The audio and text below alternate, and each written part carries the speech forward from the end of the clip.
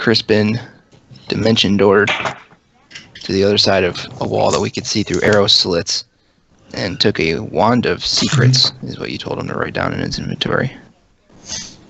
Mm-hmm. And um, then we stopped.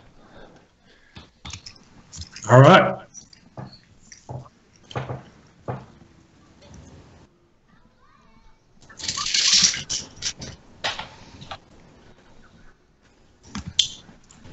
So, you guys are at the Amber Temple, and let me just zoom out on the map so I can see specifically where. All right. And uh, on the map, big thing here, X4. So, uh, as you guys uh, begin to take the staircase uh, down into the foyer and overlook of the Amber Temple, you see how there are actually like two levels here. There's like a level right here that's about 20 feet higher than down here, and there's stairs on the left and right. But uh, a 20 foot wide balcony of black marble and shattered railing overlooks a vast temple. Black marble staircases at the end of the balcony descend 30 feet to the temple floor. The vaulted ceiling is 30 feet above the balcony. The walls and ceilings are covered in amber glaze, blending a luminous golden sheen. The center amber door stand close to the west end of the balcony, and a similar pair on the east end of the balcony. So, and there. Those are uh, amber doors, you said? Um, yes. Okay. Room is either black or. Just leave it. It is.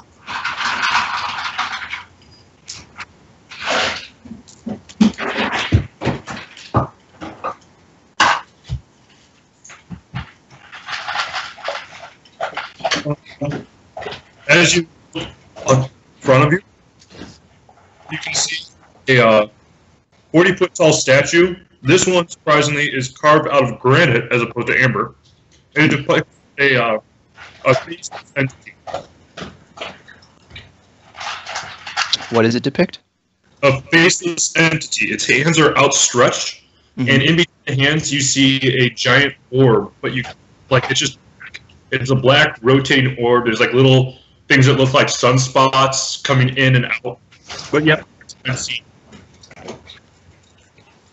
Is it like a hooded robed figure like the amber um, statues were in the hall? Nope.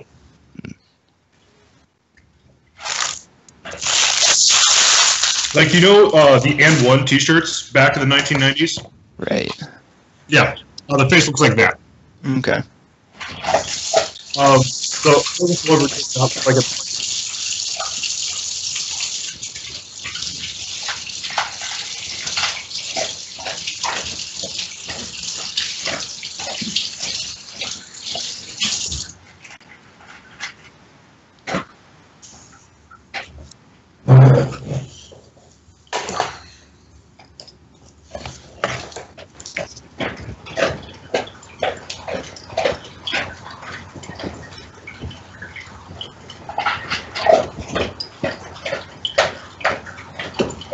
Is that a horse? I think I think it's my parents' dog. All right, guys. We have door to the left, door to the right. Descend the balcony and meet the uh, the giant statue. Um. Do we like do, do do I see anybody in this like great hall area? Uh,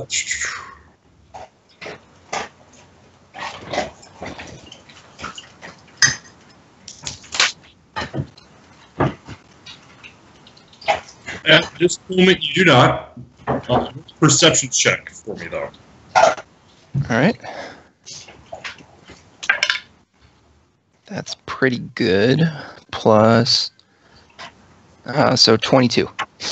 22. So uh, on the bottom part portion of this, uh, uh, like what's underneath the overlook, on this you can see a number of decayed bodies Uh, Okay. In similar decay of the wizard that Crispin found, uh, the one of secrets on. Um, however, the skulls have all been bleached white. Interesting. Everything else is grit, grime on their pristine skulls. Hmm. And roll another perception check. Um, 17. So, one of the things interesting here is that the skulls do not appear to have fallen in a natural place. Uh, it appears like it's either been manipulated or set up in a way that there's no possible way anybody would have died in that position. Uh, I uh, relay that information to the party. Um, there's uh, there's a bunch of, of like dead bodies down there with their skulls. Um, it looks like they've been altered in some way. Uh, so I don't think that we're alone here. And uh, it seems like something or someone is maybe doing some collecting.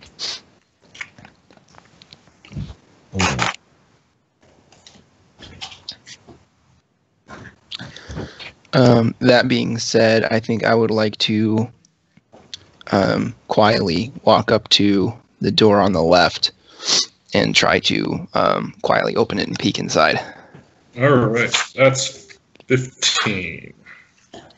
So I'm going to have you do a uh, listen check on this, which will be a d20 plus your proficiency bonus plus your, let's call it your wisdom bonus to see exactly how well you can position yourself without, um, without giving your position away. Okay. What is my proficiency bonus? Level four. Okay. Or plus four, I mean. Um, that is a 21. All right. Um, as you approach this door, you begin to hear sounds. Uh, you'll you'll remember from the last time you played almost a month ago that from over here you're able to hear sounds, and there was a uh, secret path that I had displayed and didn't draw. Um, but you'll remember there are one, six, uh, like you remember six different human voices and one wolf uh, in there, and uh, they're in order to keep it short, uh, they're talking about um, uh, different things that they raided. They appear to be real bandity types. Okay. You it was six people and a wolf? Yes. Okay. So at that point, because you did so well on the spot listen check, or uh, not spot listen, just on your uh, uh, listen check, is you were able to do that just by placing your ear on the door before you went through. Okay. Um, is there like a lock on the door? There is not. There is not. Okay. I was There gonna try to lock them in. One do the complete trope where you just stick something in, because those doors do swing out into the balcony. Ooh, perfect. Do we have something to to bar this door with? I'm sure Tony's got steel components. Uh, I have a staff.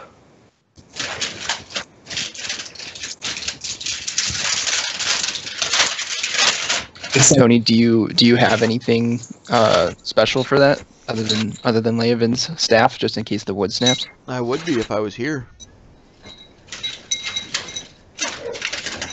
What do you mean you're not? I'm, Uh, his token isn't on the map, but you are here. You did come with us up the mountain. I did not know that. Yeah, you're there. Nobody tells me anything. Um, I do have wood stools. Or s- I should still have my crowbar that I recovered. If we wanted to jam that in there. Um, they have that grappling hook still. Uh, let me check my bag of holding real fast. I didn't have that one open, surprisingly enough.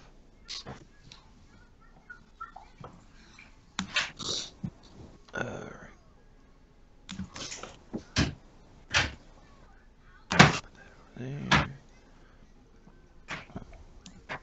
Uh, one thing we could do too, um, if we wanted to, um, you- if we wanted to take these guys on, we could uh, put a spike growth in front of the door, Leovan, and I can use uh, prestidigitation to make like faint musical notes that would draw them out.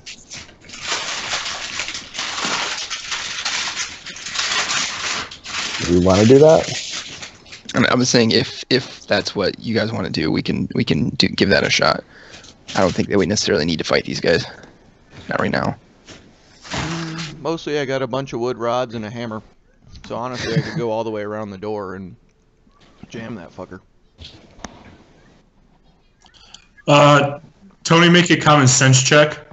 Uh, this will be a uh, D20 plus your wisdom plus your proficiency. D20 plus wisdom plus proficiency. Alright. 12 plus, where'd it go? 15. You're getting the idea. Yeah, you're getting the idea. If you do that, uh, the mere fact of hammering a nail will probably draw attention to the door before you're finished. Oh, let's see what else I got. Well, let's just uh let's let's go with Laven's idea then and, and use the the staff to bar it if we can. Well, I do have a tower shield that we could jam underneath the door handle. Again, that would probably be pretty loud. I'm saying like a doorstop wedge beneath below the door handle and into the floor. Just gotta do it quietly. Do Does like anybody- Home Alone Oh, shit. What was that, Jay? You know how malleable amber is? Moderately. Depends if it's warm. Yeah, I thought it was like hard as stone. Yeah, yeah, that's what I thought too. I just wanted to make sure that I knew before I did a rule. It's definitely uh, more dense. Or, Or loud, but it will make sound. Yes, that's what I'll rule. um, I think we could probably achieve the same effect with uh, with the staff um, without having to potentially make noise. Like even if I put the shield up, I think it might there might be too high of a chance of making noise. Works for me. Alright. And then, uh, just a heads up, guys. I put a dotted line over where the uh, balcony will end. Okay, Yeah. So I figured that would have been helpful to know. sure. Yeah. All right. So, um, who is going to place the uh, staff in to bar the door? Yo. All right. What I would like you to do is make a dexterity check. Um, actually, sleight of hand. Let's do sleight of hand to see exactly how well you can uh, put that staff in without making noise. Sleight of hand. Uh, 17. 17. Oh my god. It like it it was like some David Blaine magic there. Like if, like you're sitting around the staff, you like just keep your eye here and eventually the staff was gone because it went into your other hand and just slid it in. And Esmeralda is mesmerized by this feat. Like it was crazy. Uh, I wink at her. Ooh, Uh, some inter-party romance. yeah. make a charisma check. My charisma's bad. Uh, 8. Eight. Uh, it's out of fear of having an NPC just go off on you. Uh, you try to blink, but you end up just blinking, like blinking, but your eyes were offset with the timing. so it, it literally just goes like you put that in, then it's left, right. Um, She looks confused. all right, that awkward display display completed. Uh, I'd like to go across to the other door now. Okay. Checking the map. Checking the map. That brings us to six.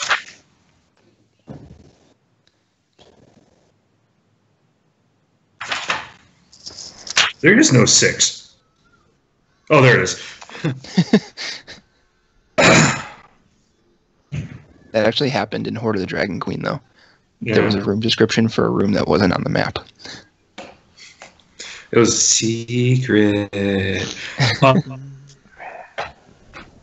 Uh, go ahead and make another uh, um, listen check for me, just like we do with you. before. Okay. Um, that is a 17. 17 you don't hear anything and uh, part of it was well i should take it back you do hear some things uh, it was the um, life forms in the room over on the west end here and then you just put your finger in your ear so that you can hear what's going on with your other ear in this room and then you hear nothing Okay. Um, I'd like to uh, like stealthily open the door then. okay make a sleight of hand check uh, to see what you can do with the door making noise and then a stealth check for yourself Okay. Um. Okay. So sleight of hand and then stealth. yep All right.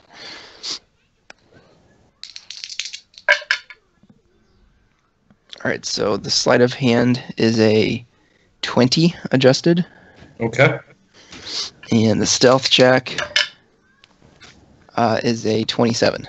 Okay. Yeah, that all gets through. So, as you open up the door, uh, this room is featureless except for a rough edged, 10 foot diameter circular hole in the floor to the east and an empty torch sconce that lines the wall. Double doors of amber stand to the north and the west, where the west is the one you're currently standing. Mhm. Here is the door to the north. Okay. Uh, a single closed door lies just south of the western set of double doors. So there's another door down here.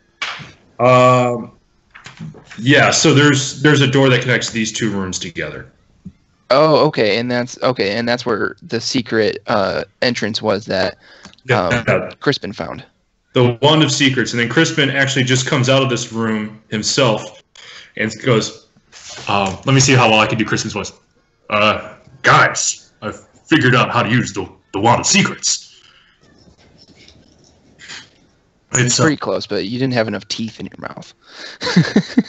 I'm I'm sorry, I need to get a second roll of teeth. uh, he sits there and goes, um, if you if you hold this wand, you can uh, sit there and, and scan it around and let you know where secret doors and traps are. Ooh. Now, I feel like I need to sit here and write this down in my journal. Guys, by the way, I started keeping a journal. Um, go guard the door. And then you guys keep on going through here. Okay. You laughing about? Straw did it. It seemed like a good idea. I'm sure I can do a better job than he can. I hope so. Oh, Um, in my journal. Can all right. Um. I'd like to uh, look in that uh, hole. You said there's like a ten foot wide hole in the floor, right? Yes. Um, let me see the other floor to see if that comes down all the way. I'm still doing this stealthily, by the way. X33A.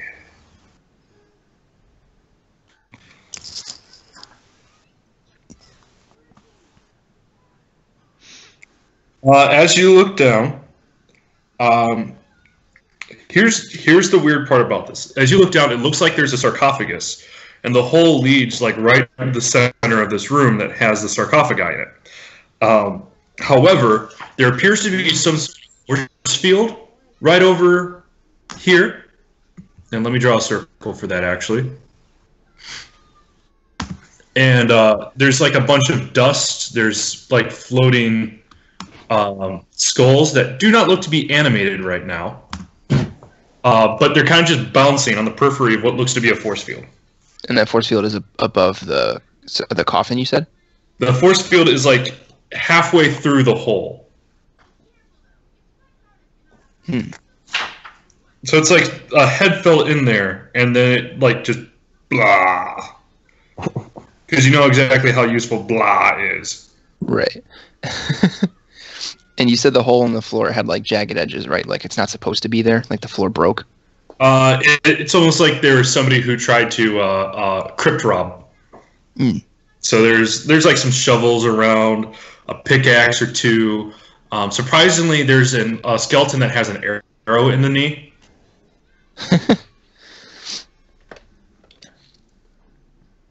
Um, I uh, I like sort of whisper loudly back into the hallway, like, guys, I found something.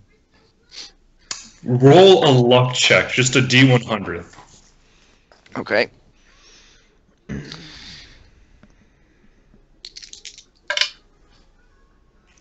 Uh, 94. Okay, keep, keep on going. we'll save that roll for later. Uh-oh. Um,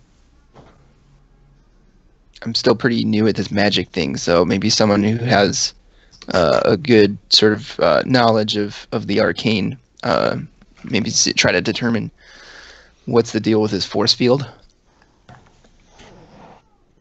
Uh, Hagrid? Thinking Hagrid or, or Tony, maybe both. I'll come give it a shot. I'm already guessing it's uh, magical in nature, so I'm not gonna do detect magic. Can I just make an Arcana check on it? Absolutely. No. Yep. Oh. Yeah, fuck. Um, how about a 26? So, uh, what doesn't really catch your eye um, is the force field on this. It's more the skulls. Uh, the force field is basically your, your any barrier that can be done. It's just the the interesting part of the barrier is that it has been in your mind up for hundreds and hundreds and hundreds of years, um, which is a feat to whoever cast the spell. The it, what really catches your attention are the bleached white skulls on here.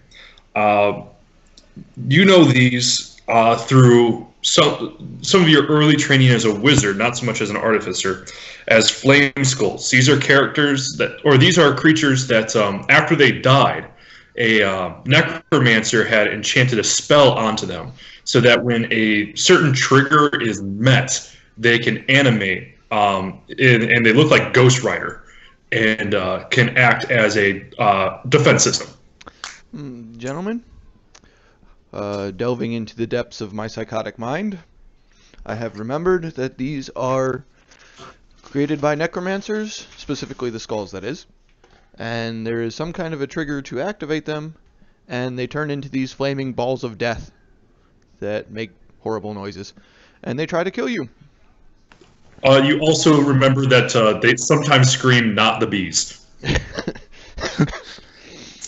and they sometimes scream, not the bees. I think you made that last part up. We'll see. But yeah, just so you know, those things, any bleached white skulls we see floating around, probably going to try and kill us if we find a way to activate them. By the way, Tony, make a luck check. D one. You know what you get. A D1 hundo. Yep. Okay, let's see here. Um, let's go with a 72. All right. Proceed as you were. You're feeling lucky. Do we want to piss him off? I think we should piss him off. I don't, I don't think we should piss him off. Uh, Tony, on this one, you will know is that uh, the the spell for flame skulls is regenerating. If you do not remove the enchantment on them, you basically buy an hour. All of the experience. Yeah, Yeah, except okay. we don't get experience points right now. I agree. We shouldn't piss him off. Um, It's only because you rolled like 25 plus in Arcana that I'm telling you this. um, Well, thank you. Hagrid, do you think that we should uh, head down to the lower level of that Great Hall or check the um, amber double doors to the north of the room that uh, we're in?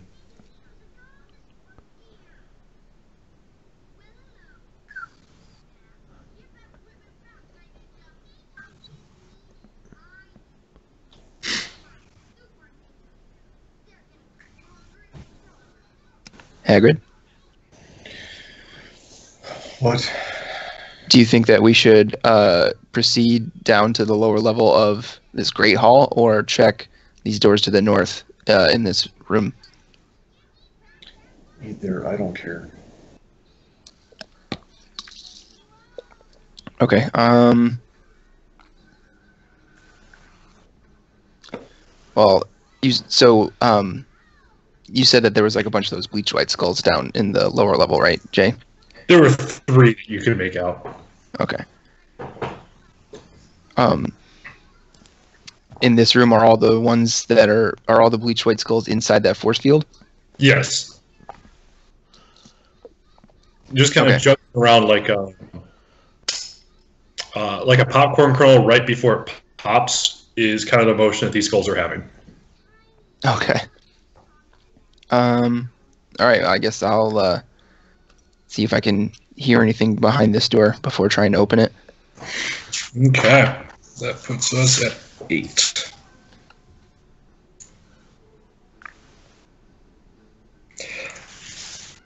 Uh, yeah, you don't even need to make a roll. There's nothing that you can hear in there. Is that uh, as you open up, this is just uh, part of the hall. Once again, this kind of overlooks down here, uh, but there's a railing that goes right along the western side of this hall.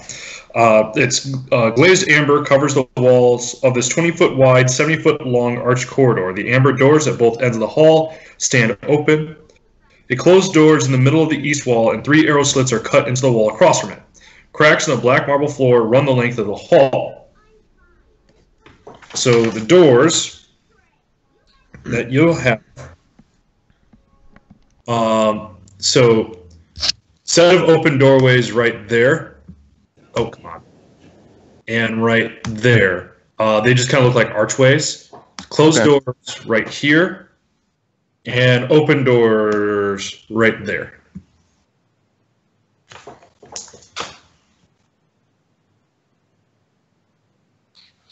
Uh, what do you guys think?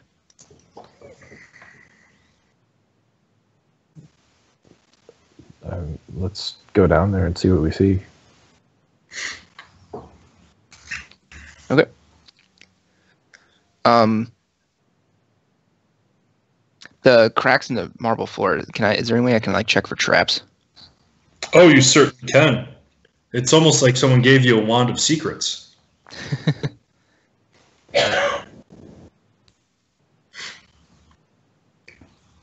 All right. Um, you can either use the wand of secrets and deplete one of its three charges, or you can uh, make an investigation check.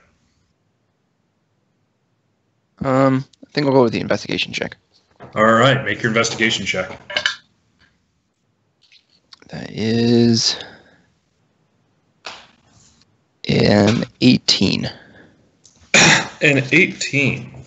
Uh, as you come by, like there's the cracks here don't have like a particular footstep to it. It doesn't have a pressure plate. It looks like there's something here that had a incredible amount of weight uh, that stood there for a long time. If they were trying to repair something, uh, build something, or that was just where it was stationed for the longest time. Um, based off of what you've encountered in the past. Uh, you know that there's some sort of uh, golems that can be that heavy, um, but for based off of a lack of footstep, you have no way of knowing for sure. You just know something of incredible size and weight once stood there. Okay. Mm-hmm.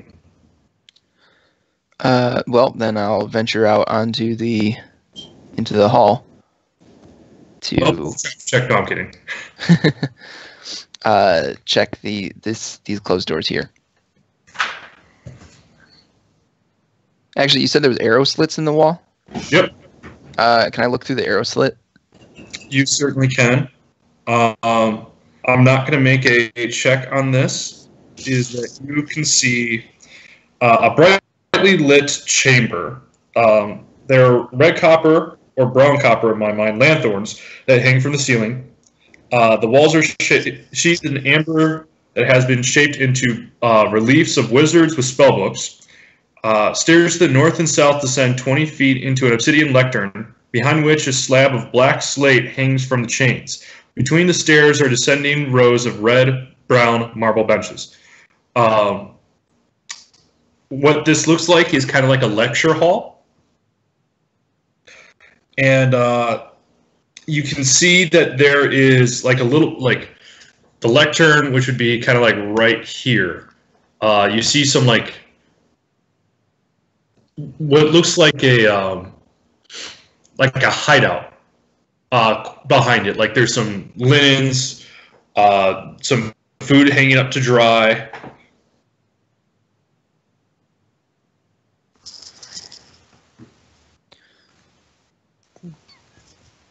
yeah. Okay. Um, do I hear anybody in there though? That one I'm going to need you to make a listen check for. Okay. Uh, an 18. No. All right. Um, I think that there's uh somebody. So it's like a, a lecture hall in here, and I think that there's somebody living in there, and it's probably. I think it might be one of those bandits.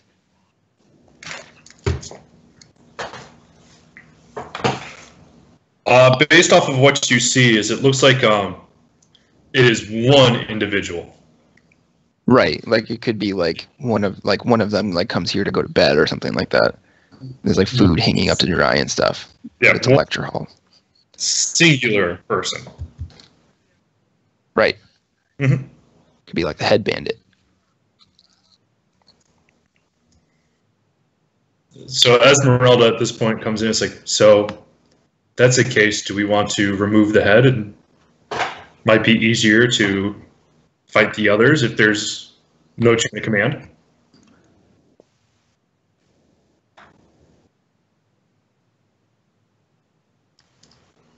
That's a possibility. What do you guys think? Well, we did buy ourselves some time by barring the doors shut with the, the masses of them. But we run into the odds of pissing off the skulls by making too much noise. If that's what the trigger is. If. Well, then I have one question for us. Are we feeling lucky?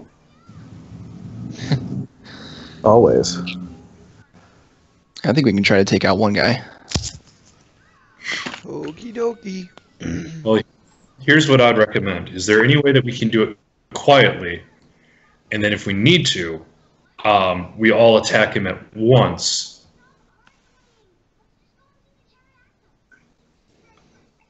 I mean, that's uh, always an option. Because I think the most dangerous time for us is if as soon as we enter the room. There's some way that we can do it without anybody realizing. I think we'll be all right. Or we can just scream it's over. We have the high ground. I like that option. Um, I'd like to uh, quietly try to open the, the door. Okay. Uh, based off of the way your numbers have been, uh, if you just take the average, you'll be fine. Okay. I'm done making you roll almost 30s.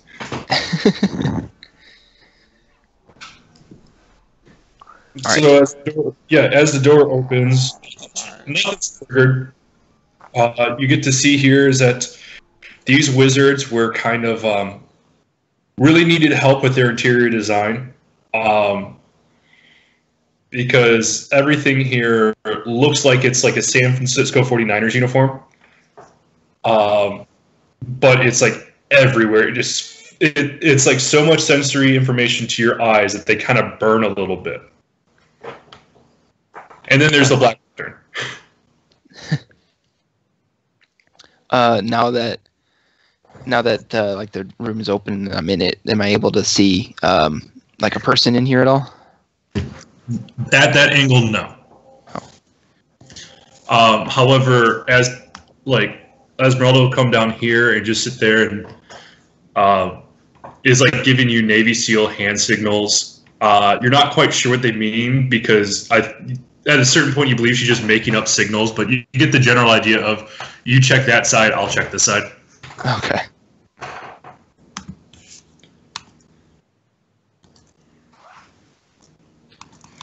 And then to speed things up, as you get there, uh, you're- um, you see that there is um, one individual.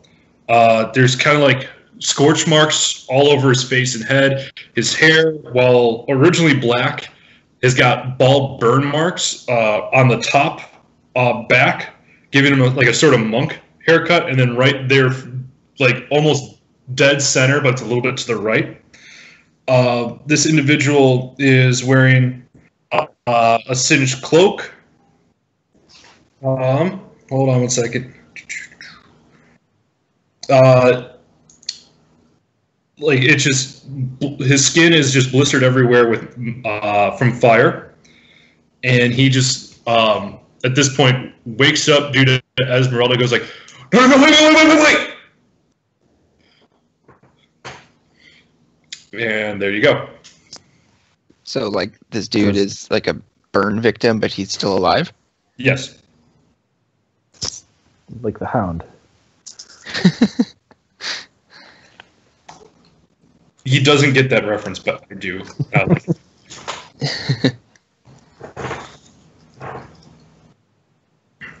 um, he just sits there, goes like, "Okay, okay, let's not do anything rash here. I left you guys on your side of the Amber Temple. I'm just here looking for stuff. Let's just go back to our original agreement, unless you guys want some charred rat." As he points towards the food drying. We have an agreement. Were you not the the angry people on the other side? I think he's talking about the bandits. Oh, great! There's a third party here. Um, yeah, I'm. My name is uh, Valinus, and uh, how do you do? I'd Say- shake your hand, but you guys might attack me if I make a sudden movement. Say Valinus is his name. Valinus, yes. This is typically when you share your names. Hmm. His name sounds like an STD. Um, well, Valinus, you don't. We're not here to attack you. Um, my name's Lucian, and uh, I'm with a group. Uh, we call ourselves uh, NASA. Um, we are here at the Amber Temple because uh, we're looking for some information. Oh, I. I'm actually looking for things here. Um, my master uh, used to work here, uh, Jakarion, and I was hoping to get his staff and his spellbook. And and then and then I'll be out of here. It just this place is kind of dangerous. Um, what happened to your master? Do you see what happened? Like, do you want to know how I got these scars? Uh, I'm guessing it's probably those uh, dormant flaming skulls. No, it's what killed Jakarion. Uh, just imagine a giant column of fire coming down from the heavens, and you're just in the wrong place at the wrong time. Hagrid, that sounds like one of your abilities. I had that last Tuesday over the chamber pot.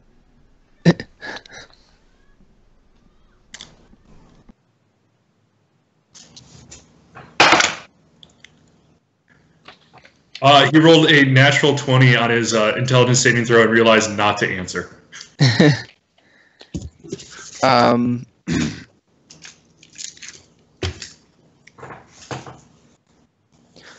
uh, so, uh, Valinus, are you um, like, are, are you a member of this this Amber Temple that we're in? Uh, no, no. The the Amber Temple um, hasn't been in its natural operation for a very long time. I don't know specifically how long, but um, it was essentially one of the most powerful arcane areas in Barovia. Like everything that was deemed too dangerous to to be out among the general public was sealed away in here, and there were wizards um, far far stronger than I that kept it all uh, shut. And, and can I put my hands down? Are you still going to kill me? We're not gonna kill you. So I can't put my hands down. Yes. I don't remember asking you to put them up. Well, that's fair. As he slowly puts his hands down, it's like the reverse of Ricky Bobby uh, in the interview. Is that he's just trying to do his best to not show any aggressive movements whatsoever. Um, maybe you could tell us a little bit about that weird black orb that that statue is holding out there. Yeah, that interested me as well. Um,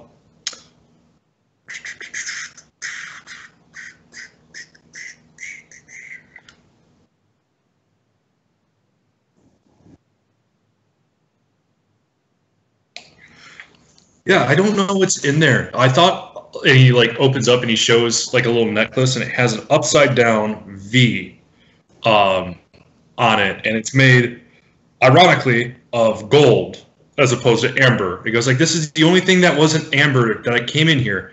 I have no idea what it does. We can always try to see if it turns off that orb."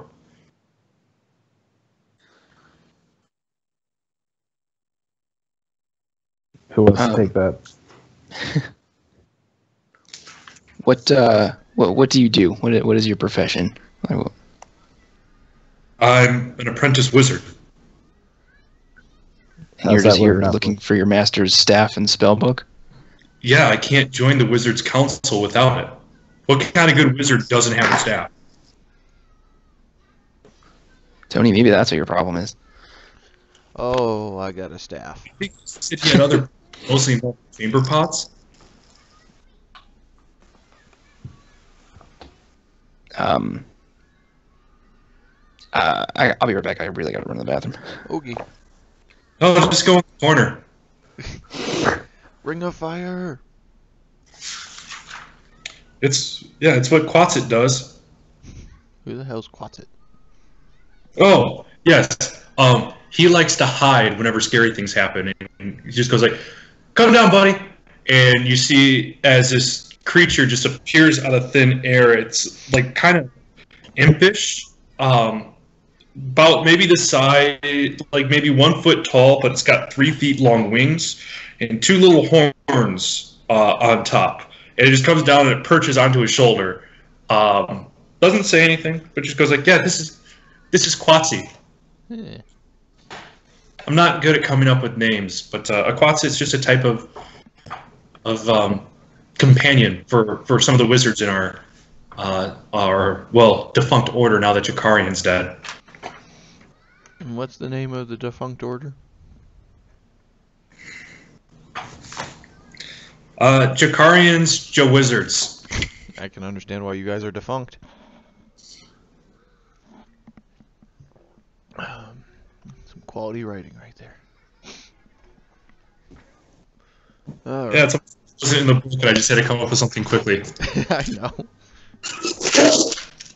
So, have you tried activating the silly amulet yet? I don't. Well, no, because barbarians kind of were well barbarian-y Yeah, poke it with a stick. here, and I figured, what's the one place they wouldn't want to go into? And I sat there and realized it was anywhere with books or learning, and that's why I took this. Um, that'd probably be the first place they'd go to destroy, in my opinion. I'm back. What were you a barbarian in another life? Uh, I think so. I mean, as I stare at my tattoo.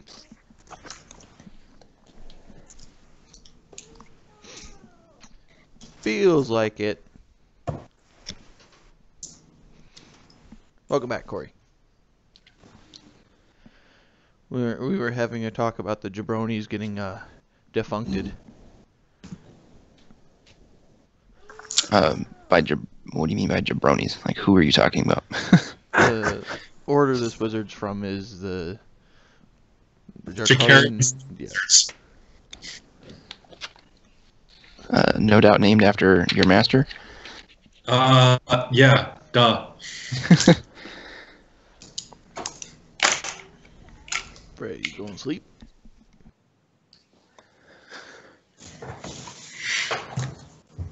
Um, so uh, what have you? Like, where have you been in this in this uh, building? Um, this is about as deep as I went. Um, I went, and there's that room to the south, and it had the hole in it, and there's some bouncing skulls. I thought, no, no, not today. Um, I checked out the statue. There's a big spinning orb of darkness. I was like, no, not today. And I found this lecture hall. It didn't seem like anything scary was in here, so I go, today. How long have you been here? Um, enough to get hungry. Kind of lost track after a while. Does nobody want to ask about Oh wait, he told us. Never mind. The burns? Yeah, I think it was the giant column of fire. yeah, that's probably what it was. Yeah, um, I kind of messed up and cast it a little bit too close. Oh, you did it yourself. I, did I tell you how I was learning? So wait, you accidentally killed your master?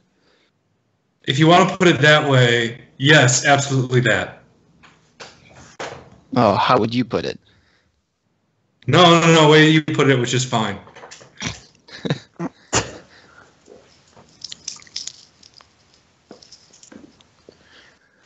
All right. Well, um,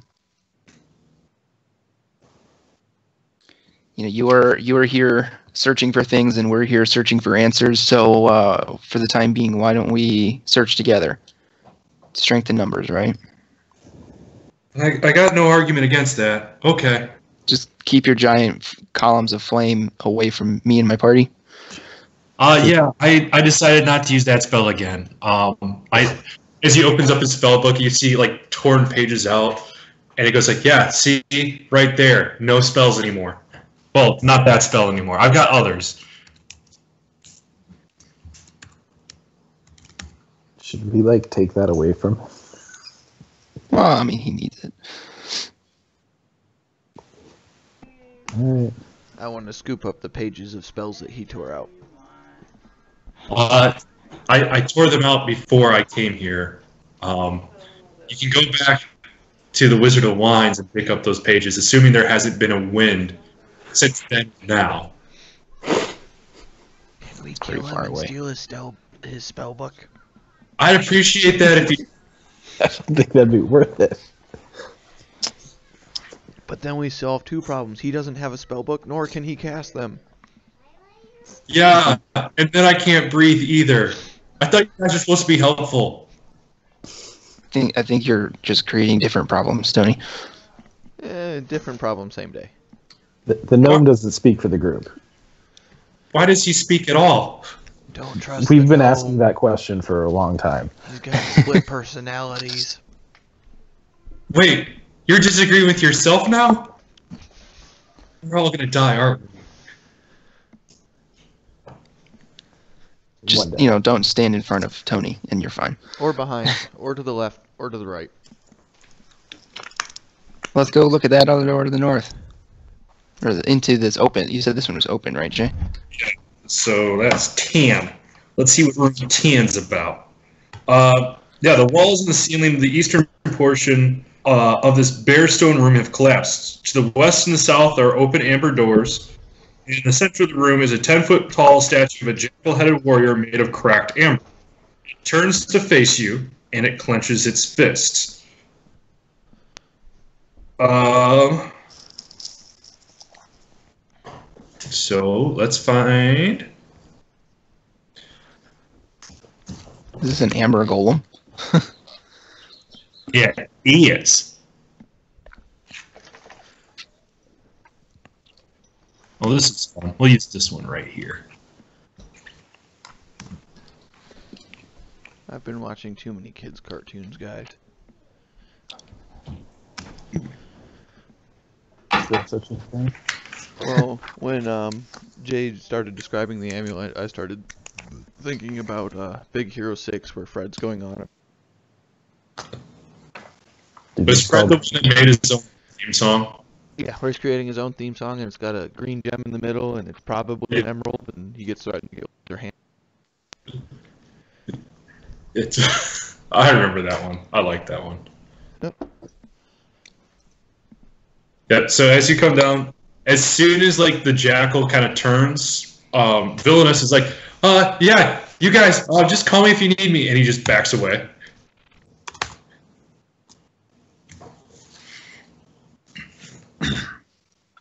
Uh, at this point, uh,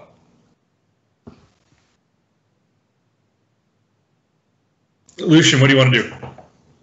Um. Well, uh, this is probably the thing that cracked the marble stone out in the hallway. Uh, which means that if we leave this room, it's probably still gonna keep moving. Um, do we want to fight it, guys?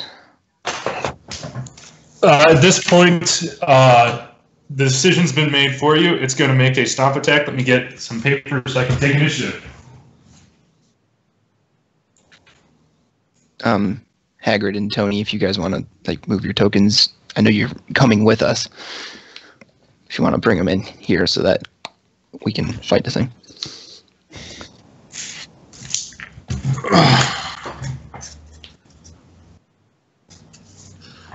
All right, so that's done.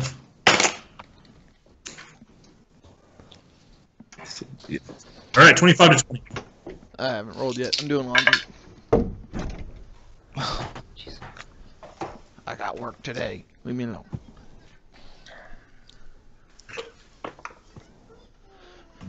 Okay, I'm nowhere near it, so.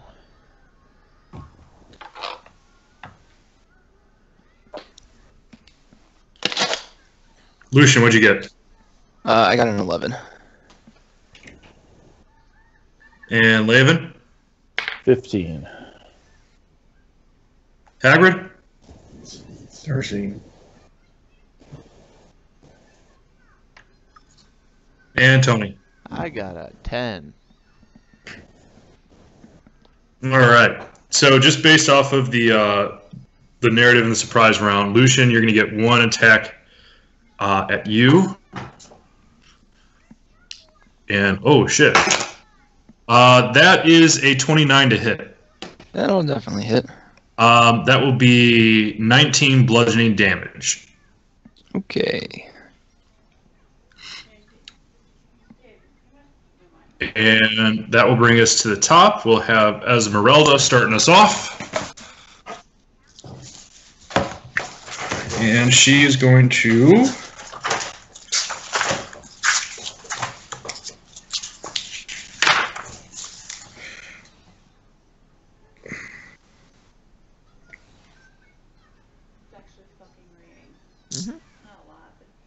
Force the golem to make a wisdom saving throw. Which the uh, yeah, which the golem saves on. Uh, so instead, she's going to make a uh, firebolt, and that's a nat one. So that fails on all accounts. Uh, Leovan, you're up next. Okay. Um, I am going to cast Hunter's Mark Okay, you do so. and then whip out my flaming longsword and go get him. Your flaming longsword. Okay, go ahead and attack. Okay, that is a 21. Oh, that hits. And then 8.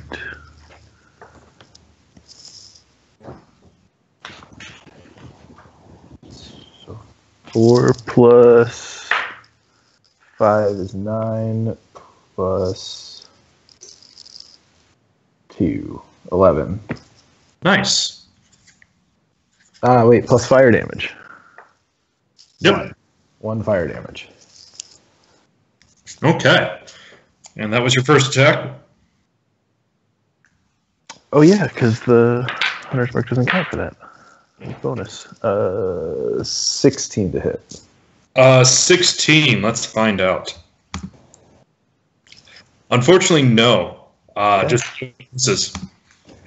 You sit there and you found a, a chunky portion of the amber, and it just kind of like scrapes the sword along it, but doesn't do any sort of lasting impact. All right. That brings us to Hagrid.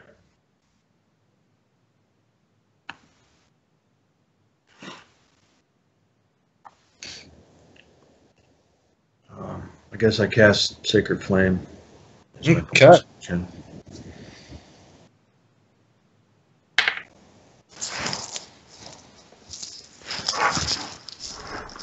Twenty-six. 26 will hit.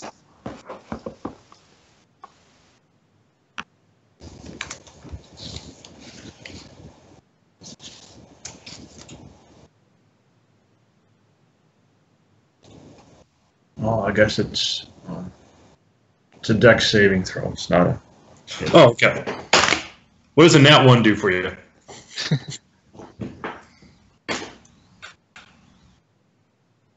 We're getting some Wil Wheaton style dice right here.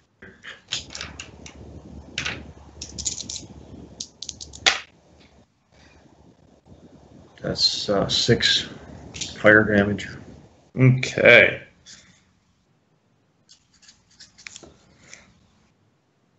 And then I'll try to attack it with my sword.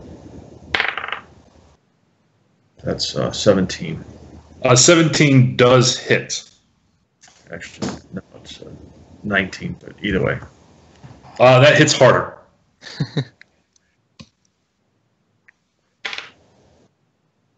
Ten slashing. All right. Uh, you get through, and just based off of how uh, hard the amber is, it doesn't do as much as you thought it would. But you do have a nice little like chunk comes through. Remind me, is your sword uh, magical? Uh, I was just going to ask if the uh, bless uh, aspect had anything to Then add. it's magical. Yes. Never mind. It did the full ten points damage. So do I get to add my radiant Yes. as well? Uh, for this one, yes.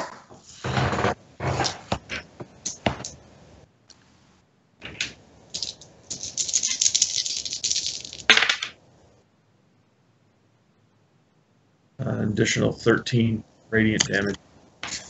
Dang. Uh, yeah, you're starting to take clear chunks off of this uh, golem right now. Is that uh, what was originally his like pauldrons? Um, you've cut clean off. It's like it. Oh, um, I also forgot to add my divine strike. Okay, Sorry, a lot of it. that's okay. It's morning, man. Another, another two radiant. Okay. Hot damn. That's a. Uh, if golems could speak, they'd probably say this smarts. yeah. Uh, that brings us. Anything else you want to do this turn, Hagrid? No, that's it. Your ship is up. All right. Um, I am going to uh, skirt around the golem uh, this way to get behind it with uh, on the uh, on the opposite side from Leovan. I'm going to kind of, uh, as I'm running, sort of like uh, like drag the tip of Bao and then swing in like an upward, like an uppercut kind of strike uh, Okay. against the uh, the golem. Uh, roll with advantage and uh, go for it. Okay. All right, so that is a 25 to hit. I think I have a plus 10, right? Yes, Uh, 25 to hit. Yeah, go ahead and hit. All right. Um. So You, you will get sneak attack on this. yeah, I need to grab enough d6s for that.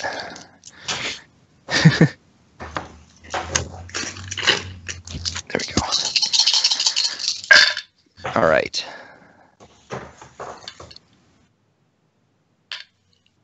Uh, so that's um, 25 damage. 25 damage. Okay. At this point, um, with you just being able to slash right through the back, uh, your sword cuts to the amber like butter. But Uh, and inside there, you begin to see this like glowing orb uh, exposed in the back of the uh, uh, golem. okay, Uh, at that point, Tony, you're up. uh, I'm not done yet. No, you're not. Okay. Uh, so using the momentum from that strike, I'm gonna um, hop back and uh, seeing that glowing orb, I'm gonna shoot at it with my uh, Eldritch Blast. Okay. As you do that, though, he will get an attack of opportunity. So this will happen uh, at the same time. Okay. Uh, how does a 14 sound? That misses. Okay. Go ahead and make your Eldritch Blast. All right. Um, that's not so bueno. The that's a 12. Uh, 12 will not hit. So um, you're aiming for that little like glowing orb, and he turns around, realizes you're there. You send the Eldritch Blast in, and his hand just pushes it out of the way uh, to no effect. All right. Uh, now it's Tony's turn. Uh, Tony, based off of where you are right now, you can see this glowing orb uh, just exposed in the back of the golem. Okay. Um, I'd like to shoot two ray of frosts at it. One as an action, one as a bonus. I'll let you shoot one ray of frost at it. I think we need to change the house rule to that you can't cast the same spell twice in a turn. Okie dokie works for me. Then I'll do Okay. one. Well, then I gotta reformulate my plan. Take your time. Damn them. Well, don't truly take your time. Figure it out, but figure it out. Mm. Oh, screw it. I guess I'll take a shot with my thunder cannon and then a ray of frost. All right, go ahead and roll to hit. Using Thundermonger. Okay, roll to hit. Oh crap. Uh, that was a total of 24. That'll hit. Alright. That means I'm gonna do 2d6 plus an extra 2d6.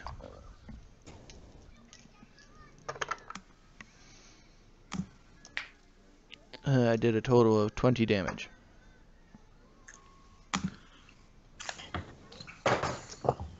Uh, 20 damage right on there. Okay. And uh, as you hit there, you realize, like, you see it just seize up in pain uh, on there. And, uh, sorry, I just got to read the comment from Lucian as well.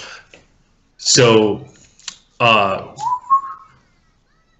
yeah, you see it as it seized up in the pain, and it, like, it starts, like, kind of spazzing around a little bit you realize that hitting there is almost like hitting an eye in Resident Evil, and it does ridiculous amounts of damage. Okie dokie. Yep. As this thing looks like it is uh, about to just fall apart, Well then, as much as apart. uh, for a bonus, I'll fire a ray of frost at it. Sounds good. That is uh, 22. Uh, 22 will hit. And that is 1d8. Uh, no, it's based off your character level. It's 2d8. Okay. I can do that. Mm-hmm. Uh, that's 8 from the dice, and spells don't get a bonus, do they? No. Nope, so total 8. However, uh, that was just enough to take it out. Um, because holy blessed weapon, everybody. Uh, but as this happens, is Tony just takes it like his uh, like little sawed-off shotgun-looking gun, um, like blasts right into the back, and with his left hand, he just comes up and, and begins this ray of frost, starting at the feet. It just comes all the way up until the golem is now just one giant frozen stalagmite.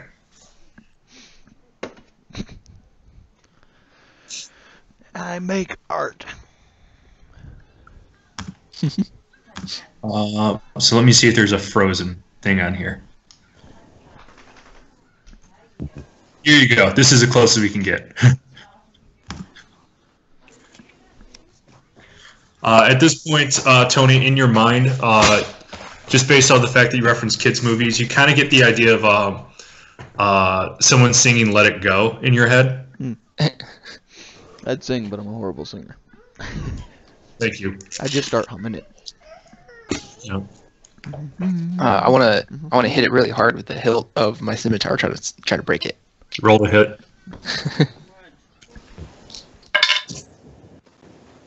Uh, 17. Uh, yeah, some ice comes out, and oddly enough, it is like uh, perfect for uh, putting into mixed drinks. if only you had some. Guys, we just made whiskey stones. Yeah.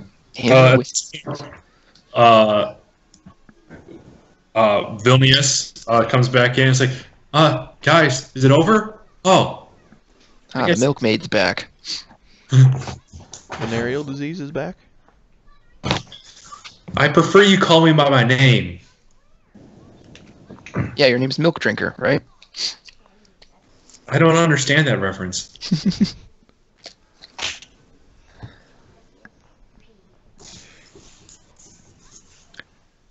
Um. All right. Is there uh anything else in this room now? Like any, anything of note, or is it just a, a golem Uh, hidey hole? Other than a uh, frozen jackal. The jackal. Jackal. Uh, you've got uh, Dora. Hold on one second. So, yeah, there's a room I totally forgot to draw. It's right there. There's a door to the west, like right here. And it like overhangs the uh, main hall. Yeah, it totally does do that. Well, how long has that door been there? Uh, the entire time. It's just like I forgot to change the room. Yeah.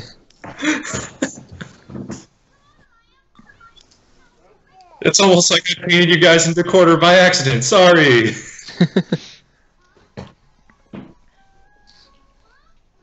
It's what happens when I do things without paying full attention to it. Um, all right, well let's let's check out that uh, that door and the subsequent room that's behind it. Okay. Uh, as you open up the door, you see this uh, black marble balcony, 30 feet above the floor, overhangs the northeast corner of the temple. The two amber doors leading from this balcony stand open to the north. Uh, Zane, fist bump. you can sit there and see the uh, AND1 statue. La-la-la-la.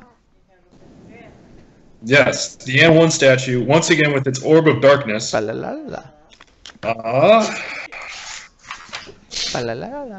Go get fist bumps from mommy.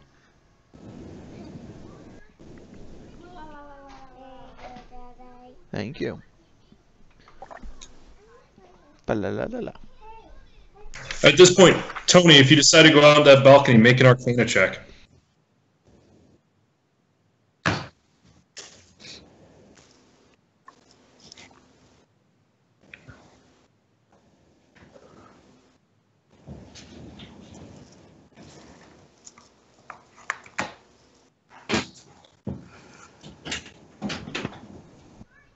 I did go out on the balcony and make a 24 for an Arcana check.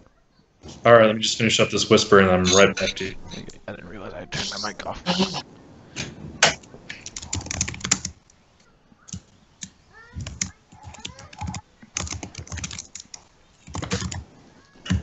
All the secrets. Okay. Uh,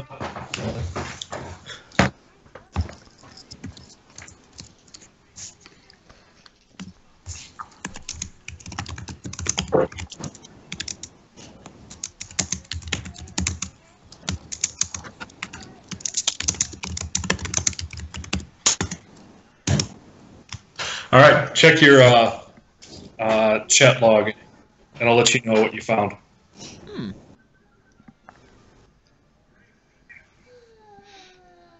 Interesting. So, from this perspective, gentlemen, seems like that orb only shows up when somebody casts a spell in a recent amount of time. So, somebody's here keeping that orb going.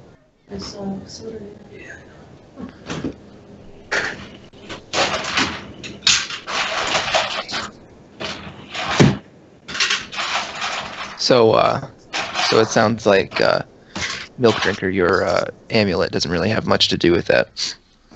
Well, I haven't done anything with the amulet. Let me at least point it at the thing as he takes it. And he doesn't take it away from his neck, but he points it at it and he just goes, Come on. Do something. And you just see him begin to clench all the muscles in his body. Everything here is absolutely pointless. You guys were right. It didn't have anything to do with it, but he's convinced that it will. Um, try shaking it vigorously. Are you sure it's not too scary for you to stand that, that close to it? I mean, I'm trying to get over my fears one at a time. I just don't want to do it all at once.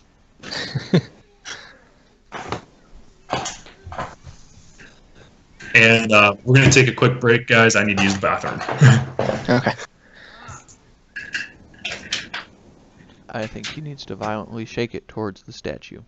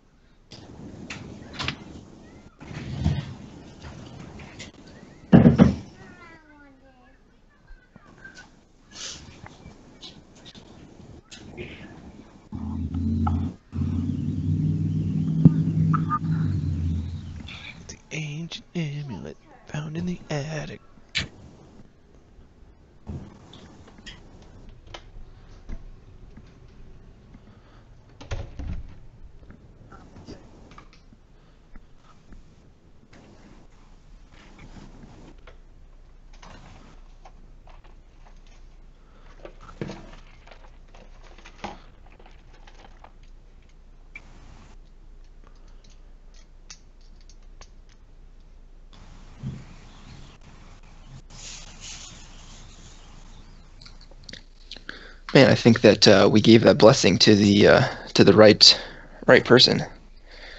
Since Hagrid's got the weapon damage and then the radiant damage and then his other radiant damage and the other radiant damage. I'm gonna agree.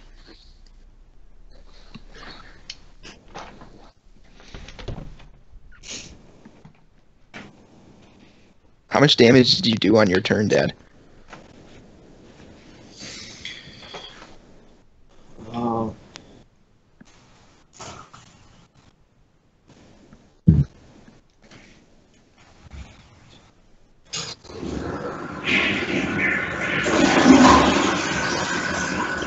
I don't know, it was, it was almost, it was over twenty-five, I don't think it was thirty.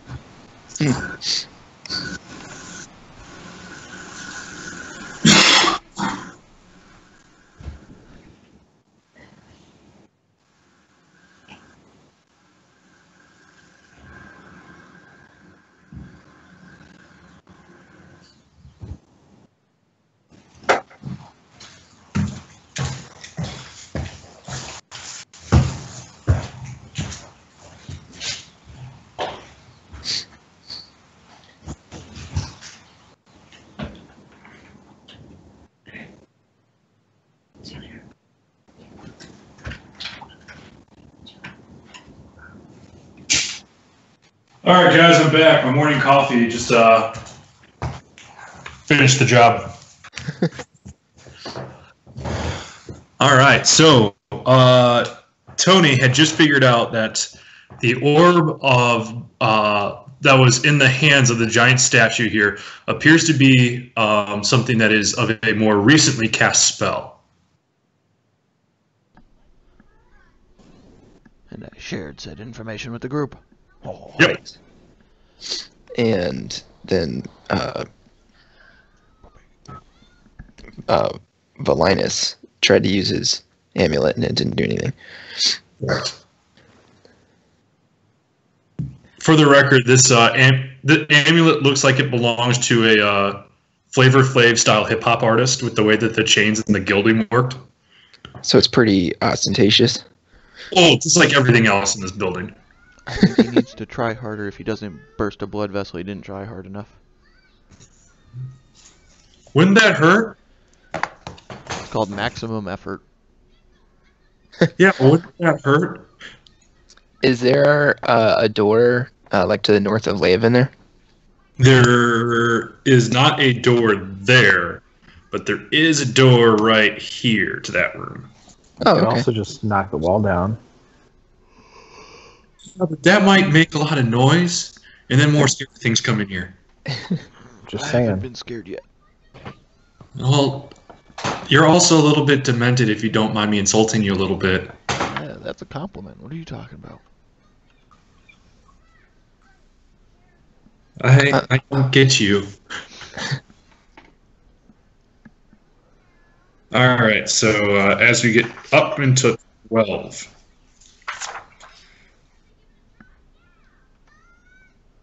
uh, this bare stone room consists of a foyer to the west uh, and a shrine to the east. Four candlesticks lie on dusty floor on the dusty floor of the foyer. In the shrine, fragments of a shattered obsidian statue are scattered in a raised alcove at the eastern end of the chamber. Two pairs of empty alcoves line the north and south walls of the shrine. Uh, as you sit there and try to mentally piece together some of the uh, um, the uh, fragments of these statues, you get to believe that it is the god of AND1, uh, all assembled, and everything here looks like it has the rough size and impact that it once got punched by the jackal golem. So the golem destroyed the uh, shrine. based off of what you know about the programming of the golem is someone might have been chased into this room and then the golem punched him and it just so happened that the AND1 god statuettes were behind the person that got punched Behind said punched person. gotcha. uh, and in reality the god's name isn't the god of AND1 but i like it better that way Um, is there any way we can tell who, what that god's name is? Like, might Hagrid know that? Uh, based off the fact that you guys are kind of uh, transplants into this plane, I would sit there and argue it's very, very difficult to know. However, there is one person here you have not asked yet. Esmeralda. No. Milk drinker. Who, who's who's the bald guy statue? Once again, I prefer that you call me by my name. I prefer you stand and fight. I can't hear what you're saying when you're both talking to me. Tony, lay your insult down first. Yeah, I, I was just he said by his proper name, venereal disease. Oh, You guys are really beginning to hurt my feelings. you hurt me when you ran away in that battle. And that you didn't give maximum effort. Okay, so you all had a question for me? Yeah. Uh, this this um, well, the big forty foot tall statue. Who who does that depict? What god is that? Oh, that's that's the god of secrets. Um, no one really knows his name because once again, what good is a god of secrets if you knew his name? The god of secrets has a secret. Secret. secret, secret. Um,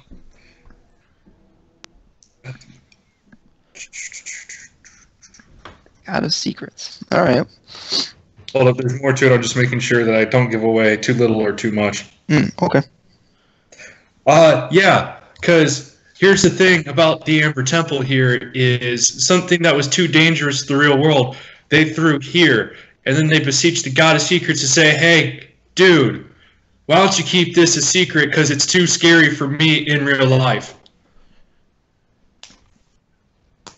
And let me tell you something. They're right.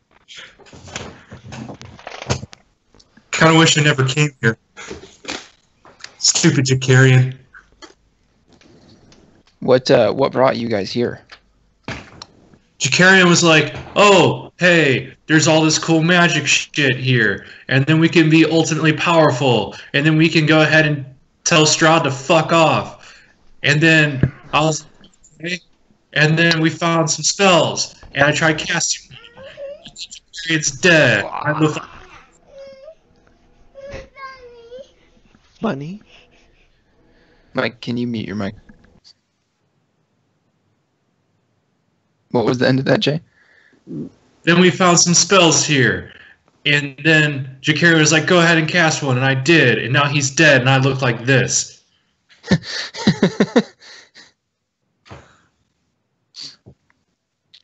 um what was the name of the spell you cast? I don't know. I, I kind of was skimming it as I was casting it. You human wizards.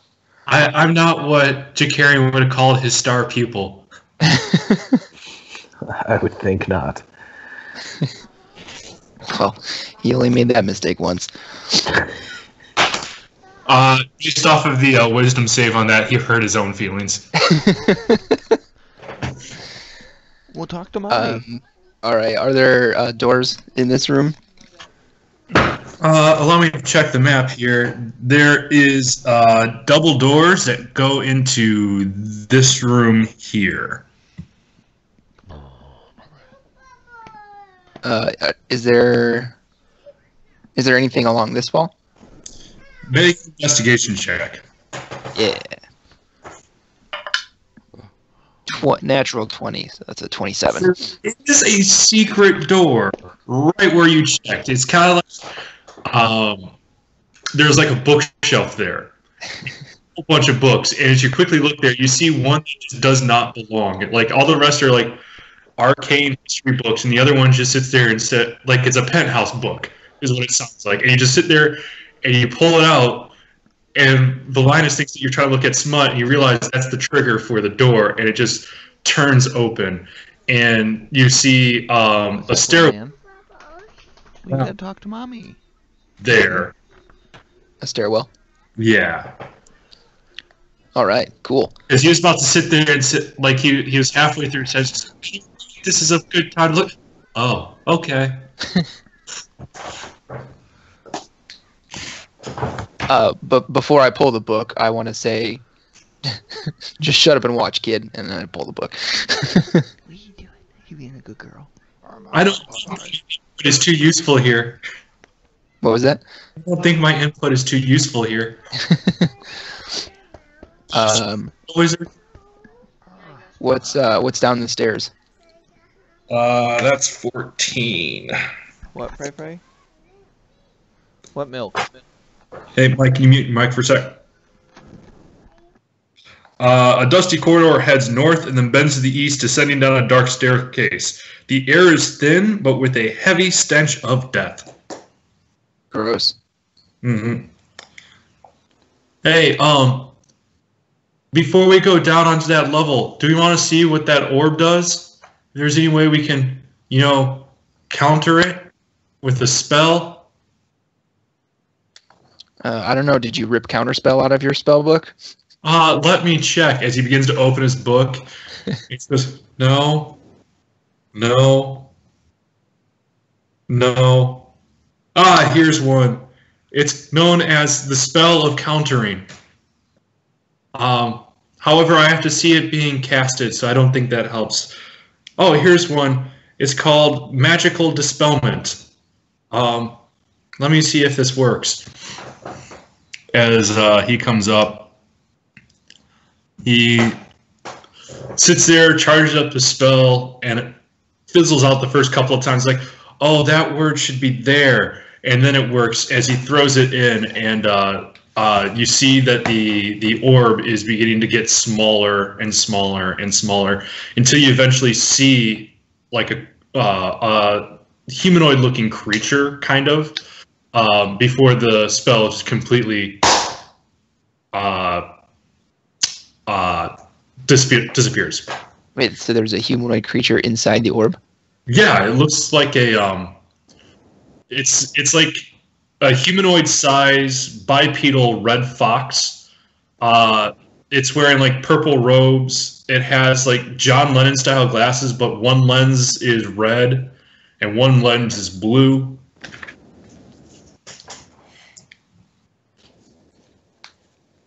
Uh, interesting. Mm-hmm. And at that point, uh, Linus goes, "Oh God, there's something in there."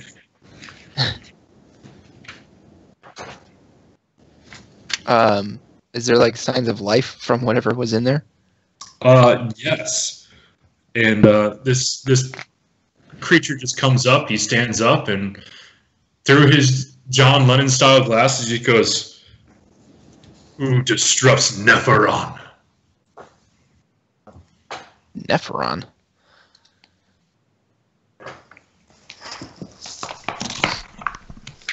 That was venereal disease here. As I point at the little wizard, wizard fucker from the other room. Mm, okay.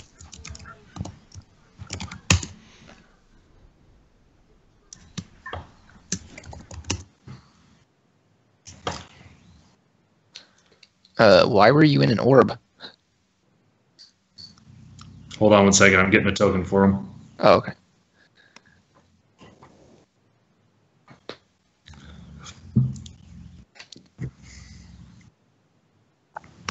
All right. Since I can't find Fox person, we'll do literal Fox. and he sits up as he jumps over uh, there in just one giant leap. And he uh, has a wand. He pulls it out. He just sits there and says, uh, "Excuse me, I'll be the one asking the questions right now. Who sat there and undid that orb?" Uh, it was this guy, as he points to Lucian. Holy shit, he can lie. Uh, at this point, uh, Nephiron points to you and he goes like, I'll have to thank you for that. I was stuck in that orb uh, for a long time, and uh, it, it was great to actually breathe air I hadn't already previously breathed in before. The, it was getting kind of thin. I uh, I, I step I I, re- I release my hand from the hilt of uh, Bao and I step forward and I, I with my hand extended to to shake uh, Nephiron's hand and like um you know, like you're you're welcome. he he's got the wand in his right hand, so he takes his left and he does like the inverse one. It's like really weird. like it feels like you're shaking hands with a rakshasa, but it's clearly not one. And he just goes like, "Sorry, I'm a little defensive. Uh, almost dying due to asphyxiation tends to do that." So, uh, Nephron, why were you trapped in an orb of dying? Um, you see, down on the bottom floor, there's a, a lich, and I kind of upset him. And there's a couple of things he did. Um, one was wipe my mind, so I'm not sure why I was down there. Um, and the second one is he put me in this orb. I was like, hey, um, why don't you take a breather? And I sat there and said, this seems like a really bad pun. And he goes, I know, I just can't think of any more in the moment. And then I started slowly dying by asphyxiation. And then you guys came. but if you want inf- more information that I literally do not know. So you, you don't know like where you came from or anything like that? I don't know why I have these glasses on right now. I don't know, but they look pretty cool.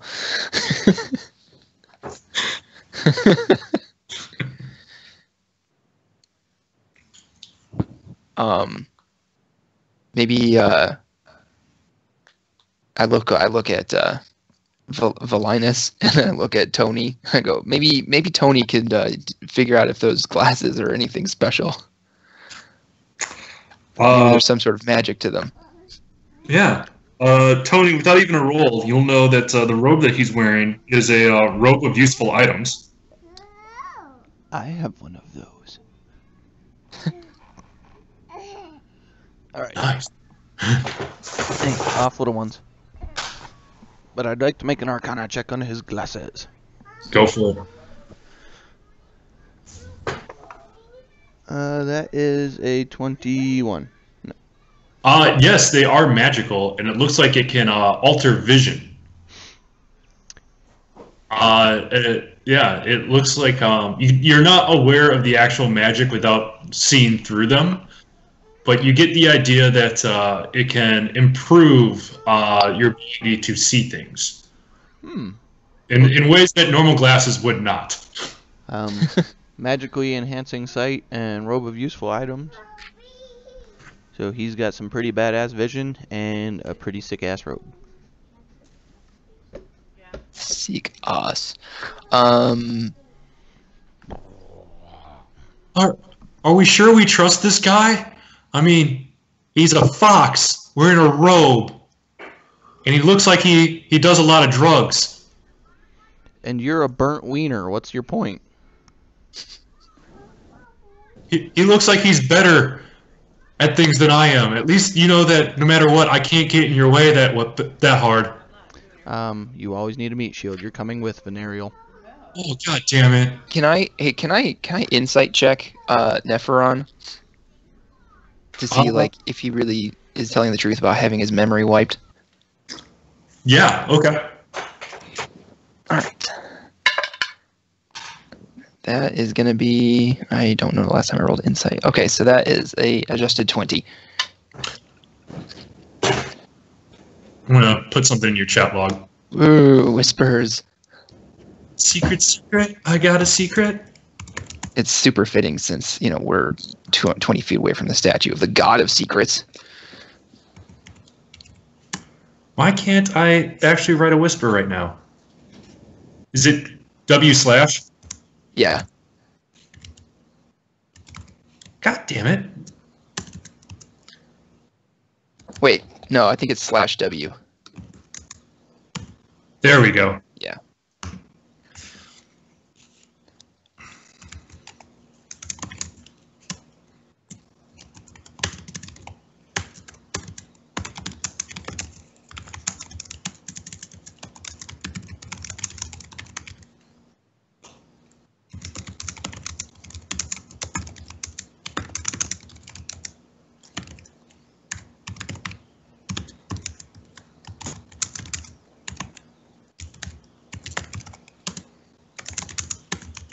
It's very exciting.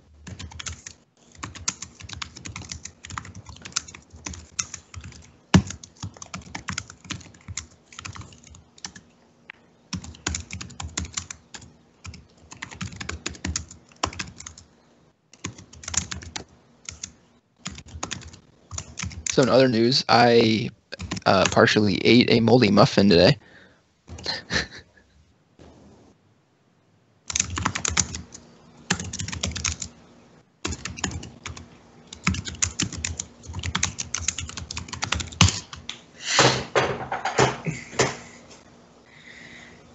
Did you fail your Constitution saving throw?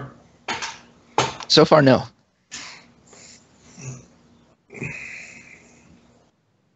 Hmm. Okay.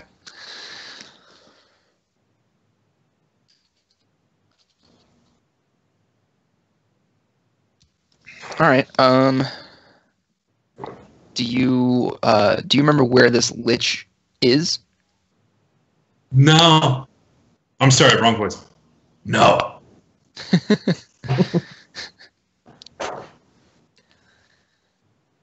Um. All right. Well, I'm having the second thoughts now about the uh, damp, dark hallways reeking of of death and rot. Um. It, it's probably from a lich. yes, Thank you.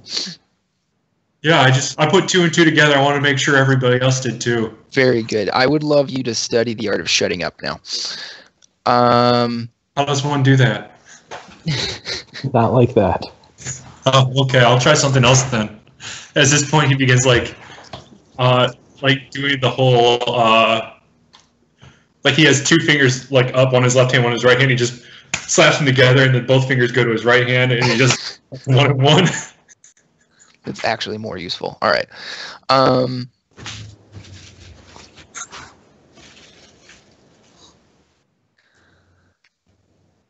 Uh, from actually from where we're at up here, uh, DM, can we see? Uh, is there like a doorway behind the statue or anything? Like any any way out of this main chamber that isn't where we're at?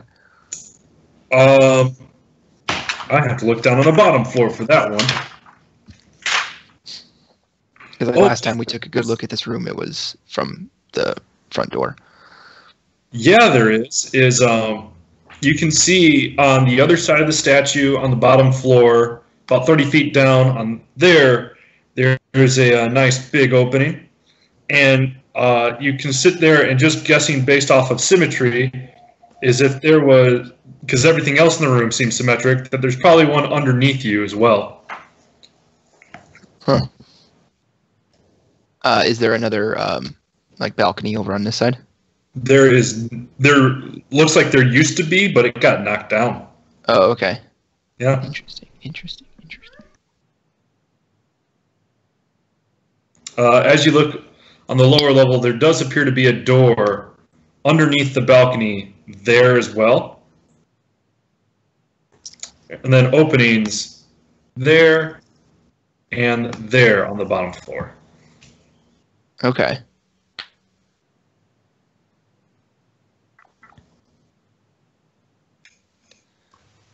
Um, let's see. There was another door in uh, in this room, right, guys? There was like one along the this wall here. Yes. Yeah.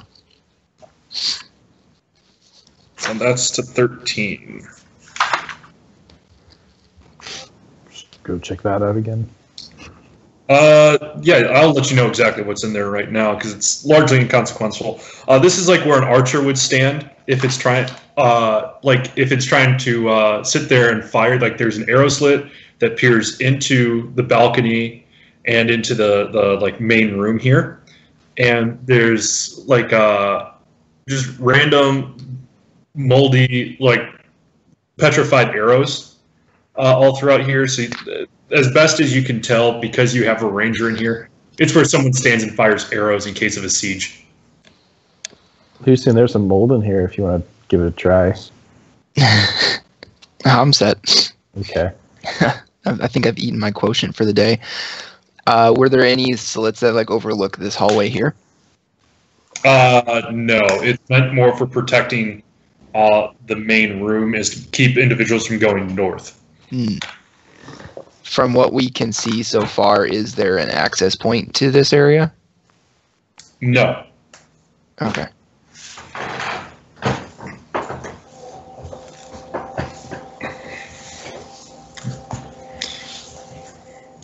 Well, I believe our only option right now is to uh, descend down to the bottom floor and see if we can, uh, well, find something that's uh, worth my time and to get my memory back. Uh, I don't, I don't like that idea. I think uh, we need to go find that uh, Jakarion stuff so I can GTFO. You know, uh, Valinus, I'm sure that the Lich has it What makes you believe that? because it's what you want.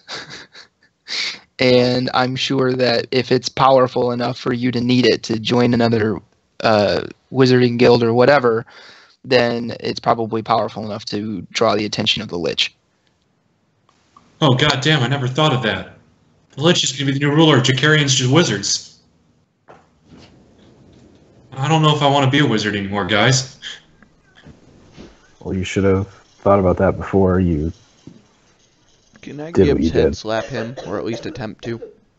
Uh, you're going to need one hell of a vertical on that. So it's uh, let's make a uh, acrobatics check first. Let's see what I can do. Um, turns out I forget how my feet work. I think I rolled Uh, a one did- with a plus two. Yes. She just slap his ass. Yeah. That a boy. You're optimistic. Uh, what? Uh, hey, I didn't consent to that. No means yes, and yes means yes, and it's not rape if you yell surprise. That's So, uh, completely backwards. Neferon, can we uh, can we count on you to, to help us out? I see no other way to get my memory back. So, uh, I might not be the best guide, but I'll, I'll help any way that I can on one condition. Um, this little uh, wuss here uh, does not follow us.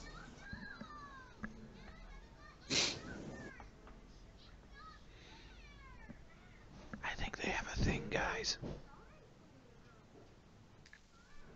Look, I don't need my memory to know I would never hook up with something like that. Um, well, I guess I have a I have an important follow up question for you then. Um, if we get into a f- into a fight, can we count on you to stand by our side, Who are you asking? Neferon? Nephron? Yeah. Because I already know the answer from Valinus. Down your meat shield, man. He can't, he can't even be a meat shield. He dips out at the first sight of danger. I got some rope. We could tie him up and just push him into things. That sounds more complicated than maybe recruiting someone who can actually do some fighting. I thought you guys weren't barbarians. You're right. We Uh, know how to do knots. Uh, at this point, he just goes, "Yeah, absolutely." Insight check. Uh, you don't need to. He he seems Okay. just Um, so you look you look kind of wizardy. Like what what can you do? Like without without your memory, are you still able to cast any spells? I can still cast enough spells to get us into or out of trouble. That's a good answer. I like this guy. Um,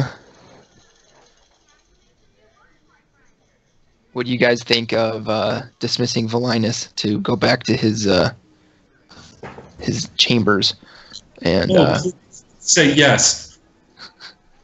Leave me alone. since since he's not really very useful to us? Anymore, that is. Just let me live, okay? We're not gonna kill you. We could just push him over the, you know, balcony railing here down to the Lich Man. I'd like to see you try that, Tony. um, Tony, Simon, what did you say, Jay? Tony, what's your alignment? Unfriendly. I'm chaotic neutral. You're getting really, really close to CE right now. Ooh, fun stuff. Okay.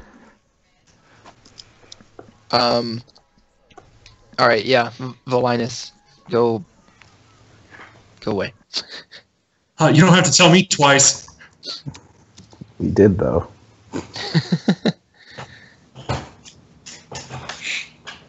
Oh, that's one NPC way. guys would like so much more if I voiced him like Pumat Sol. um. All right. Is there anything along this side that we haven't really investigated yet? Uh, to answer that question for you, no. No. Okay. And we can't really investigate the other side because we barred that door. Correct. Um. All right, guys. So now, now we have another option. We can travel down the hidden staircase, um, or we can double back and head down through the main chamber into one of the uh, archways, the openings at the bottom. Here, here are my thoughts on that. Uh, if this is a building that is protected by the God of Secrets, it probably would be in our best interest to go towards the most secretive place. Use the secrets. Yeah, the only way for us to get something is to play the power of the secret. Play the power of the secret. Don't don't put more meaning to those words. This is common sense. That's it. no, I just I liked it. Oh my god, you're gonna get that tattooed on your lower back, aren't you? I'm gonna tattoo it on yours, and I walk away.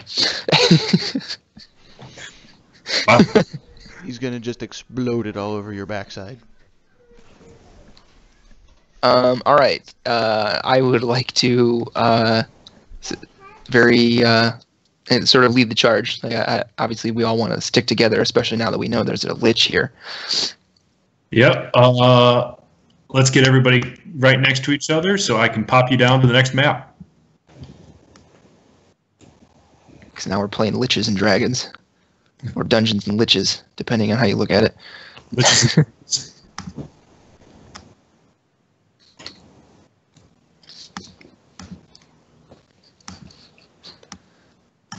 Make sure that those come across. There we go. It did. Perfect. At this point, you recognize that there is a like another version of you. It's like looking in a mirror. Oh. And that's totally not the map. I mean, it's a map. It, it certainly is a map, but it doesn't mean anything to you. Yet.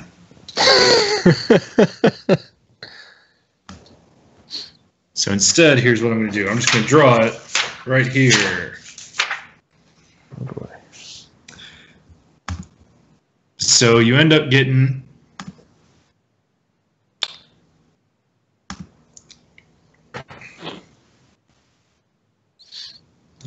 So this is going to look a lot like the room in Argynvostholt.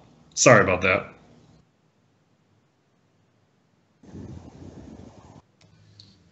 Six. Cool. This is all one continuous room right here that you guys are in, and then there's the stairwell coming out on that end. So let's just move the group right there. So Uh, that puts us into.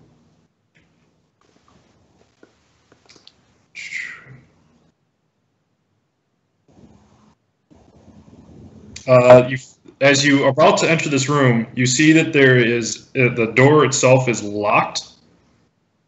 Um,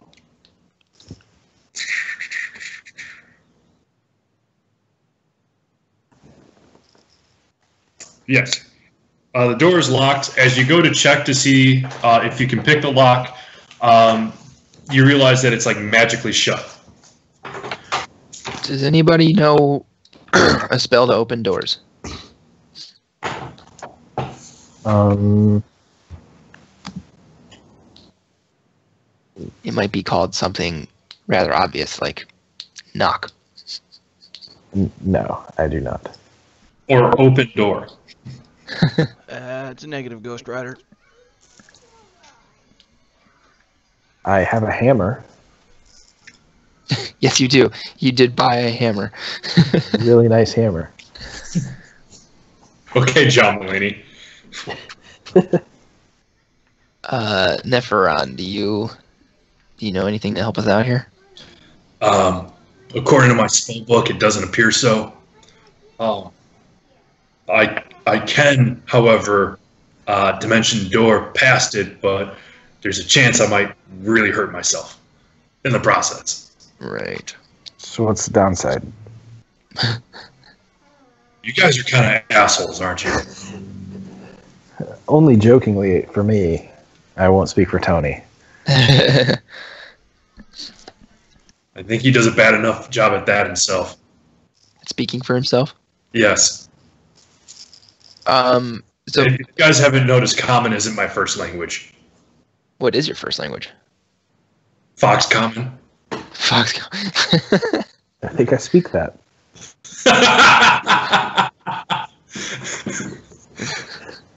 yeah, what, what's common for elf? Elf common. um. For dragons, dragon common. Dragaman. Um.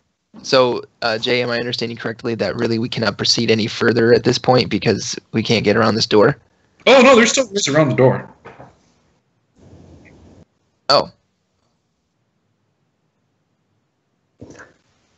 How sturdy is the lock? I mean, the lock itself is sturdy. The door itself does not appear to be as sturdy. is it like a wooden What if- door? Can we get to the hinges? I mean, it, it looks like a thin amber door. And yes, you can get to the hinges. Like it's uh, like this. This door looks like it's more designed to be ostentatious and relying on magic for its strength than actually being a good door. What if I just try to pry off the hinges? Yeah. What if we use uh, like Tony's crowbar and, and Leovin's hammer? Yeah, certainly. So what we'll is we'll make this a uh, two-person team strength check. Um, and you can add your proficiency modifiers to it because you're using tools to help out. Hey, hey, hey! I got a better Sweet. plan. I still Nope, got a I'm already battering doing ram this. in the bag of holding. Battering Alright, ram is not a better this. plan. Uh, two, two, two, two, two, 18, 19, So actually, I'll change it up. 23. Yeah, we'll have one person be the strength check, and that's the person using the hammer, and we'll have one person be the dexterity check, and that's the person holding the crowbar in place. I already rolled a 23 and I got the hammer, so. Okay. Uh, Tony, can I use your crowbar? Have at it. I've just Alright. kind of been holding it out, waiting for somebody to grab it. All right, that is a. You said a dexterity check. Yes. Uh, fourteen. All right, that's enough to uh, uh, quickly get all three of the um, hinges uh, freed from the door as it just falls over. And uh, I'm going to roll a luck uh, check for you guys.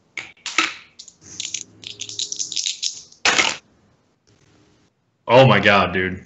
I would need to take a picture of uh, this one because it just barely worked out in your favor. Um, the door itself, uh, at the last second, um, recognizes to not have it like fall on top of him as he pushes the door the other way, and it falls flat down, and you hear this like arcane come up. And uh, Tony, based off of all the damages you've taken in your life before, uh, and Hagrid can verify this as well after being bit by a vampire and having the life sucked out of him, that there was a the door was trapped and the door itself protected you from the spell as soon as the door opened. How much does this door weigh? I owed a life debt. I'm sorry, what?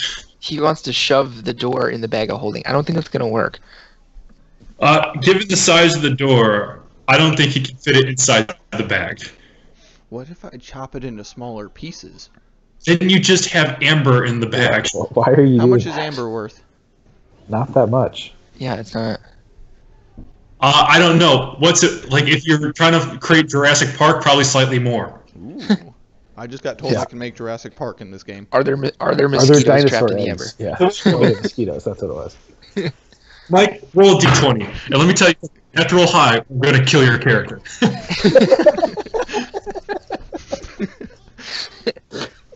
Um, kidding, I'm kidding. let's see here. What do I get? How about a 14? Plus You're- efficiency makes it an 18. You're still dead. No, I'm not surprised. The, the thing about adding your proficiency is I don't think you're not proficient in pissing off the DM. Long story Um, short, Tony will be an undead in uh, Tomb of Annihilation. He will Yeah. return. um, so uh, what's what's on the other side of this doorway now? A listeners on Twitter goes like, "Yeah, um, here's the thing, DM. I don't think you lose your shit every time that Tony has an idea." And goes, "I go, no, I do." Ah, helps that none of us take it seriously. So I'm trying not to die. Speak for yourself. Yeah. we're gonna die someday. Yeah, but I hope that day is after I run. I'm running Akre. Anyway, um, what's on the other side of the doorway now that it's open? All right. Okay. Room has walls of glazed amber, surprise, surprise, a floor of red marble, surprise, surprise, and a rough hewn shaft in the center of its 10 foot high ceiling. There are three amber sarcophagi that stand in alcoves, and above each sarcophagus floats a human skull wreathed in green flame. Oh, And let's have initiative. Those ones are alive, guys. did you say we're rolling initiative?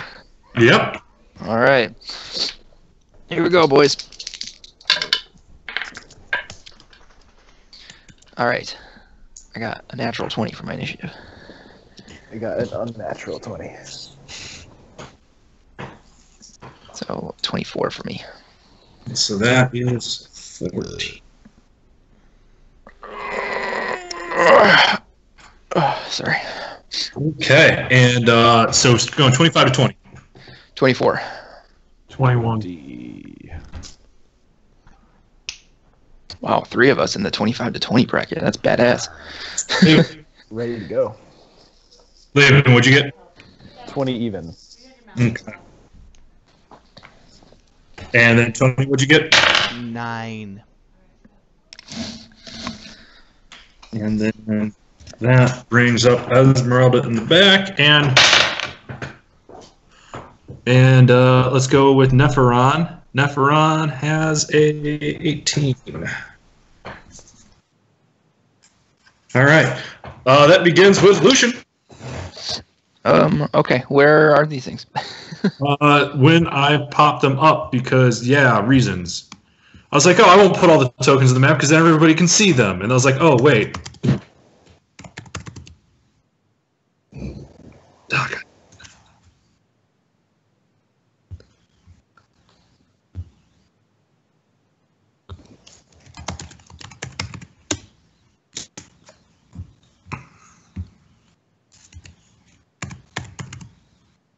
I really wish that uh, if I knew better, what I would have done is uh, have Nicolas Cage uh, tokens in here already. From, each one would be like a different Nick Cage movie. All right, there we go. um, all right. Uh, shit. I Also, would like to rage. Dink. Uh, as a bonus action, you get really angry. um, no, No. as a as um as a bonus action, I'd like to cast uh, Eldritch Blast at uh, this one. Okay. Um, that is a twenty-five. Oh, it hits so hard. Okay, I think I have two bolts for that, right? Yes. So D10 and a D10. All right, that's uh, 10 damage. Okay. Uh, and then uh, for my action, I would like to take take the dodge action. Okay. Uh, that brings us to Hagrid.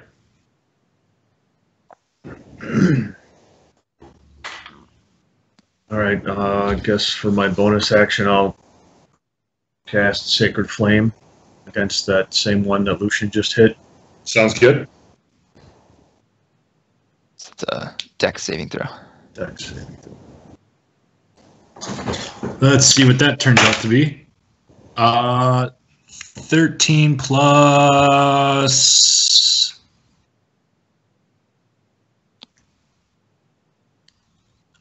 Sixteen. Uh, I guess that's uh, save because that's what my DC is. Yep.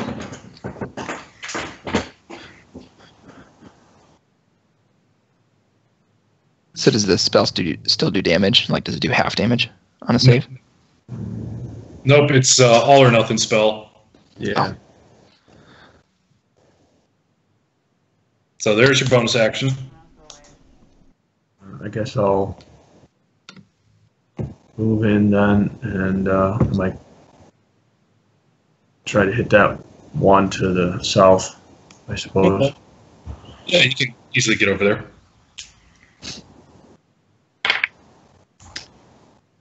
That's uh, adjusted 25. That will hit.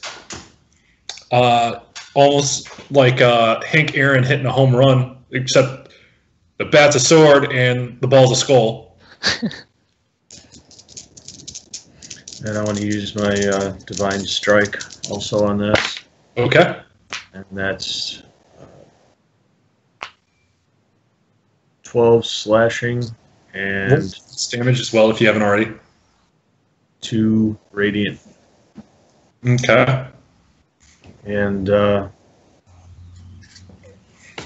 is this uh, thing considered undead or? Uh, because it's created through necromancy, yes. All right, so I get to use my uh, blessed sword bonus as well, and that will add 14 radiant damage. Yeah. So um, this this flaming skull, uh, while floating, was coming right down uh, at you, and you sit there and you grip up on your sword and you keep your hands in and you swing uh, your sword at it, and not only do you slice the skull in half, but it go the two halves go flying, and if it wasn't for the fact you're in an enclosed room, the skull probably would have flown close to 400 feet, uh, giving you your first uh, flaming skull home run of the season. But instead, it just shatters into a thousand pieces. Nice. Uh, so write down in your uh, additional notes home runs for the season as one. and uh, this guy is uh, shattered in pieces and gets a brown X over him. Yeah, Brown X. Mm-hmm. Uh, anything else? No, that's it. All right, Laven. All right, I'm gonna hunter's mark the dude at the end of the hall, Okay. and then go get him. Wait, how far is that? Yeah, I can go do that. And a flaming longsword. Okay. Uh, eleven to hit. Uh, 11 does not hit. As you pass through with the flaming longsword on this, um, you you hit the fire on the flaming skull, and uh, your common sense tells you maybe adding fire to fire just creates more fire. That's not a bad thing for it. Mm, It seemed like a good idea at the time. yes. How long can I switch weapons, or did I already use my bonus action? No, you can you can use your switch weapons. That's typically a free action. Uh, go back to the rapier. Okay.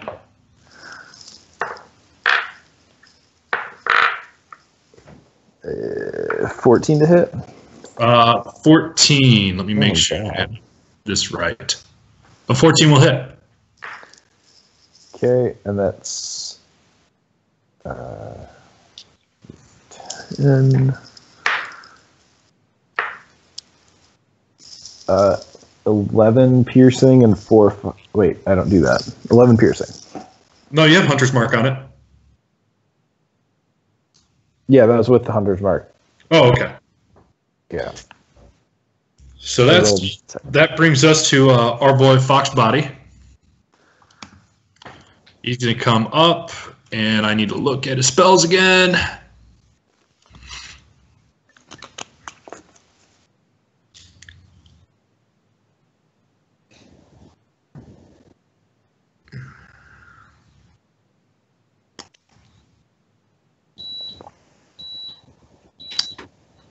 And he is going to. Uh,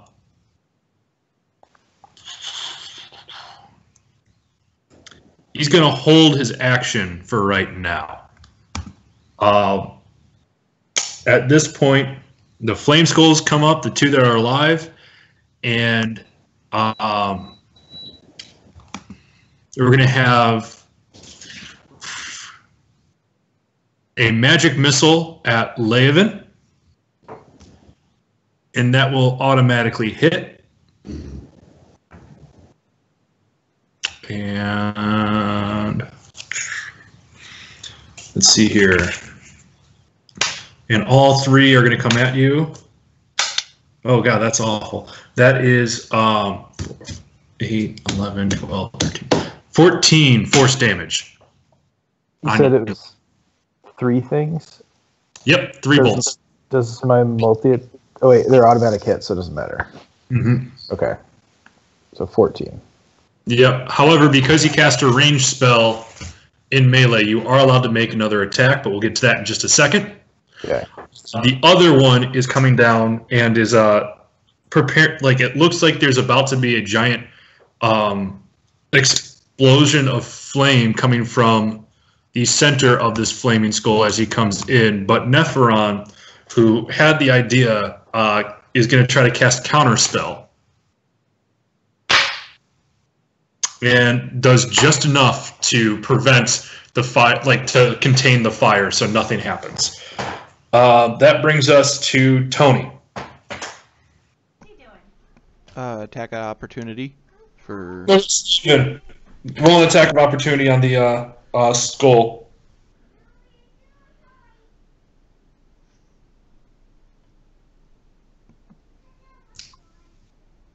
Wait, what? Like, Yeah, yeah, because there, uh, because the way that the skull was, and tried to put a uh, ranged spell attack um, on Laven, I'm granting him an attack of opportunity. Twenty-six. Oh, that hits so hard. Uh, Clothes don't go up there. That's for toys. seven, eight, ten, eleven. Another 11 damage. Okay. Uh, you you sat there and deftly rapiered him in both eye sockets. And if he had eyes, dude, he'd be blind now. But no, he's still Nick Cajun really hard. Um, uh, let's see here. Uh, what Nick Cage reference do I want to make? Uh, you, you'll get the idea that this skull might be gone in 60 seconds. But Yeah. Awful. Awful. Yep. Yep. you take the inspiration. Uh, uh, that brings us to Tony. All right. Um. Yeah. I'll take a step forward, and I will shoot at Skull by Fox Body with Thunder Cannon. All right. Fuck it. I'll use Thunder Thundermonger while I'm at it. Well, I don't think I'm gonna hit with a total of six.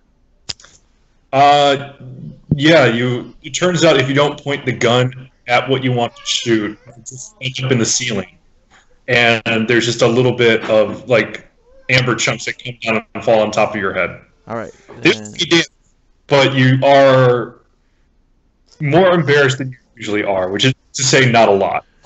Then I would like to fire my rays of frost at him. Okay. We'll try that. That is a 14. Uh, 14 just barely hits. Ooh. You said it was Fox Body? Yeah, the one by Fox Body. Cool. That is 9 damage.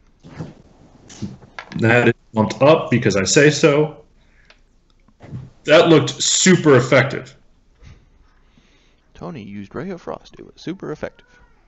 And However, you, you try to sit there and do the same thing of freezing him into a stalagmite again, but it turns out, although it hurt the fire more, it didn't extinguish it, and then it quickly melts. But now you have some nice water. Ooh, we got fresh water, guys. Mm-hmm. Spent.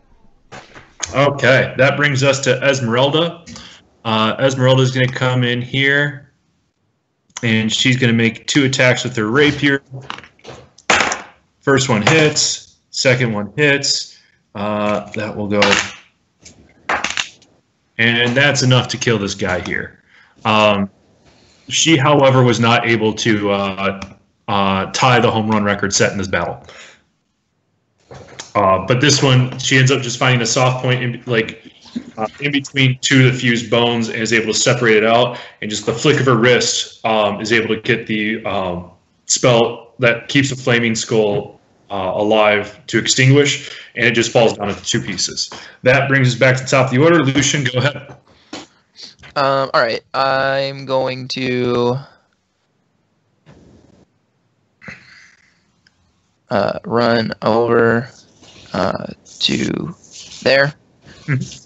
Yep. Um, and uh, make an attack against the flaming skull with uh, with Bao. Um, that's a 17. 17 will hit. All right. Need to. All right, so that's 12 damage. Uh, okay. And that one is uh, enough for me to say, describe the skull's grisly demise. Um, I want to like stick Bao into its flaming mouth and then slam it against the wall. Uh, yeah, as you do that, um, it, it shatters into pieces. Not as many as Hagrid shattered it into, but there's at least seven or eight different parts. Um, the the mandible looks irreparable. Um, seems like someone's gonna gonna not have a uh, lower jaw. It's gonna be hard to, to shatter uh, now because it's broken AF. but uh, that's the end of the battle. Uh, Hagrid, your agent would like to talk to you about getting a uh, contract extension. And uh, as we look in here, we have uh, three sarcophagi, one to the west, or one to the north. Hold on, that doesn't line up with the map. Uh, yes, one to the north, one to the east, one to the south, because the entrance was on the west. okay. Um, anybody up for checking the sarcophagi? Always. There might be goodies inside. Okay, just make sure that you um, uh, identify which one you're going to, north, east, or south. Uh, you guys want to start in the north? Yeah. Yeah.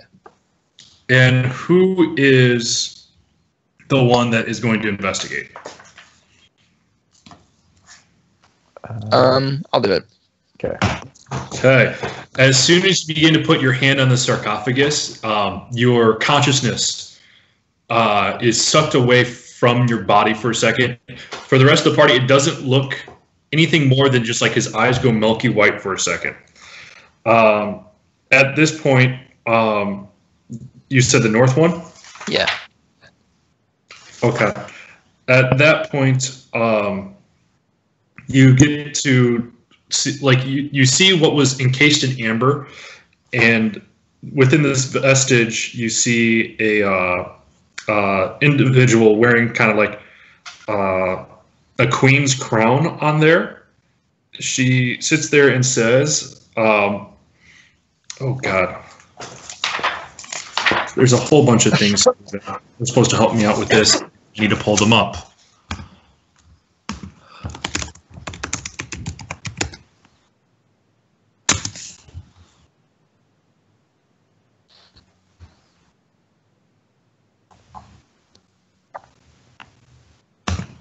I think that's the one.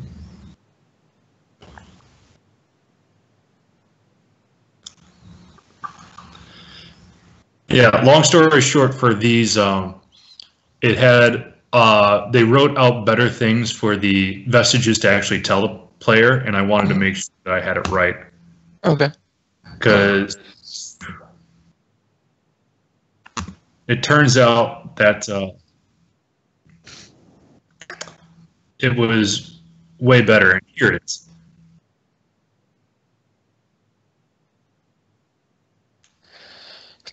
Now I have to actually find it. Uh, X33.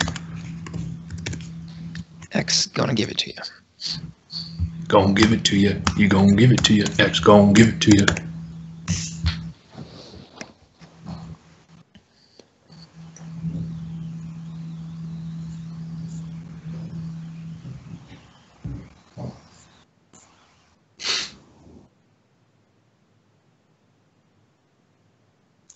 Oh, are you kidding me? It's totally not there.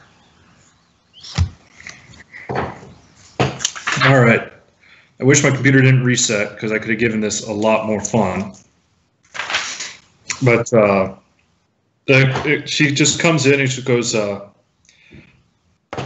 uh, and tells you a little bit of a story about how she got trapped into here because of her ability to create blights and diseases. And she offers you uh, the ability to use her power three times should you accept her gift. Uh, her name is Fekre, Queen of Poxes.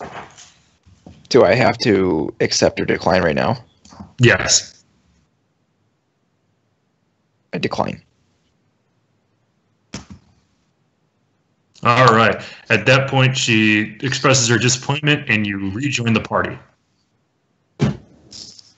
Oh, that was uh, weird, guys. Uh, I touched the sarcophagus and like some some something like came to me and spoke to me and offered me a, a gift, basically, but I turned it down.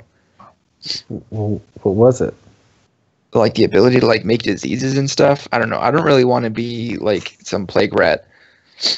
Here we go. So, um, found it. It's she just sits there. My name is Fekre, Queen of Poxes. I bid you to accept my gift. It is one of great power. It will be known as the one who controls health and disease at your command. Your name will reek of power, is what she said. Wait, so you could. It was just making diseases, Yeah. but not like making healthy from diseased people. Like, could you heal people, or could you just disease them? Maybe like control over like I could like create like cause disease or maybe cure disease. Hmm.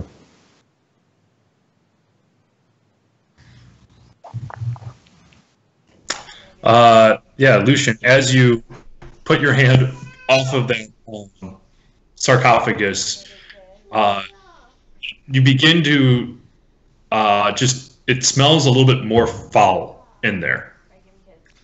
Gross. Not to the point you want to retch, but you're just sitting there, it's like, man, I would love to not be in here much longer. Uh, does anyone else want to check out the other uh, sarcophagi? I don't. I don't really want to go through that again. It's weird.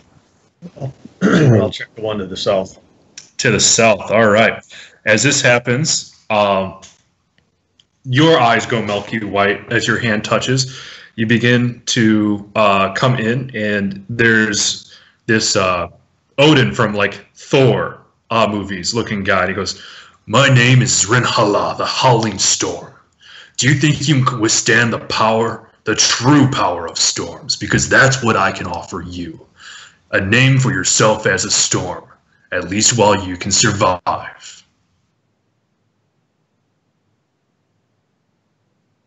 Uh, at this point, uh, he, like, once again, just like the last one, he's offering a gift, and it is your choice to accept or decline the gift. The power of storms as long as I can survive. Yes.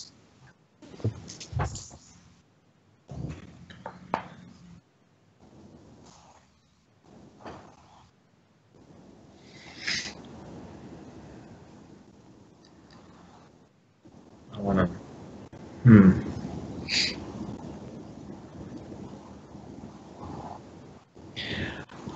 No, I think I'll decline also. That's unfortunate. As you come back, and uh, as you uh, remove your hand from there, you can feel like a little static shock that comes. It doesn't like it doesn't cause any lasting damage, but it's a little bit inconvenient, and you just shake your hand a little bit, and it goes away a few seconds later.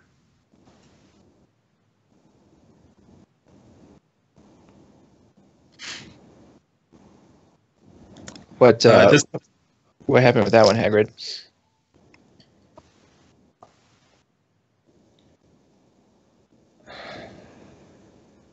I'm was offered a gift. I declined it. Okay. At this point, Ezmerelda is going to go towards the east one. Um, and she comes in, she puts her hand on, her eyes go milky white. Within six seconds later, she removes off and she turns around and she goes, um, I said yes. And at this point, you guys notice that her eyes have changed um, color. It, it's no longer like a dark brown. It's more of like a, a yellow, almost amber colored. God damn it! Everything here is amber colored. Um, yeah, and at this point, it's like, uh, yeah, they they um, offered me a chance to uh, prevent people from dying. Uh, so I, I said, absolutely, anything that can help us keep our, our warriors against Strahd alive. So um, I hope it helps. All right. No. Sounds like vampirism to me. Uh, no, no, no, no. I think this is um, one that people on the right side of undeath. Hmm.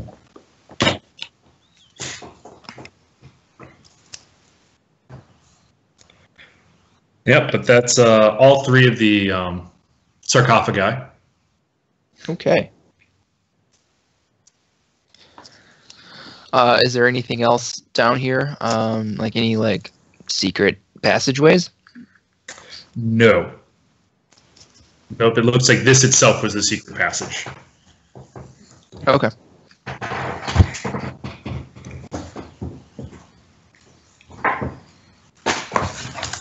Yeah. Uh, so as you guys, because there's really no other options, head back up. Uh, you're back up onto that top floor.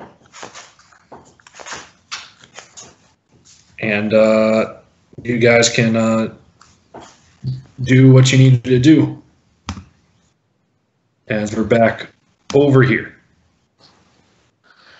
All right. Um, well, do you guys want to go the the bandity way um, and see if there's another like secret passage kind of thing over there, or do you want to uh, head down to like the main floor and uh, head through the uh, like archways at the back? Well, I think the the important thing here are the sarcophagi. They they look like they're um, things that are that are going to give us some additional powers here.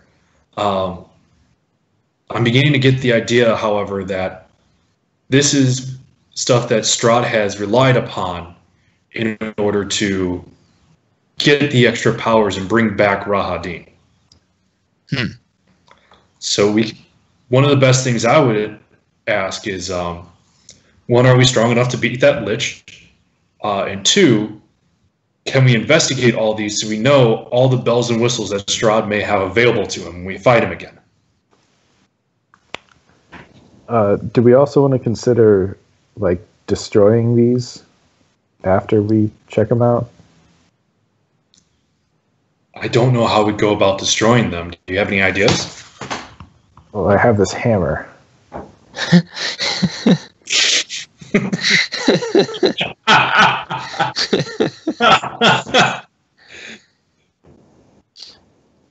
I don't. I don't think that that's gonna do it. no, no, I want to see this. Go ahead and try. No? Okay, let's move on. Later. Let's here's an idea. Let's take out the vampire first, and then we fight those. Okay. Speaking of which, do we really trust Valinus to be around something this powerful for this long? I mean, what do you want to kill him? I don't think he. Kill him, but get him out of this building and then seal it off. God, who do you think I am, Strahd? I mean, your eyes look all weird now. What are you talking about? Your eyes are yellow. At this point, she uh, like takes some of the amber and then begins wiping it until it starts to be able to to reflect it a little bit. Because I don't see anything weird. And then she realizes, oh, there's a yellow here too. It's like, you might have something to this. Uh, there may be a small thing to offer up in order to get this power.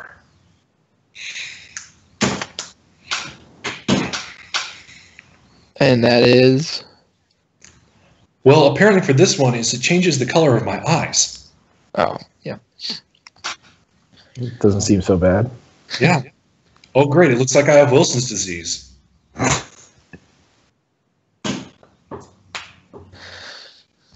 Um. Stop eating copper. All right. I guess. Uh, why don't we then uh, go deal with the bandits so that we can uh, explore the other half of the upper floor here.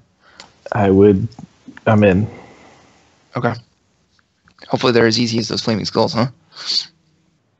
You guys had a lot of things go right for that. All right, so uh, as they go through, and you begin walking down, uh, Valinus goes, "Oh, God, you guys are still alive. That's good." And then as you pass, um, you can hear Crispin be continuing to mutter about things he's writing into his journal.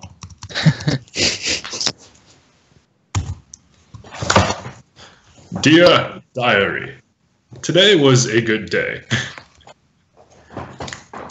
like it, it's like the weird part is it's still all exposition.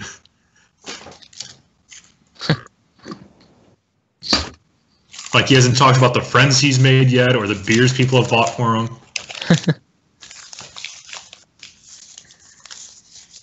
yeah.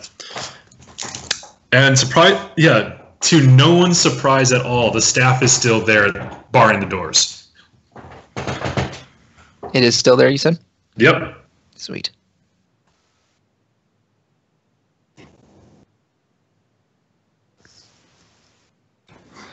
All right, uh, let's um, remove the staff.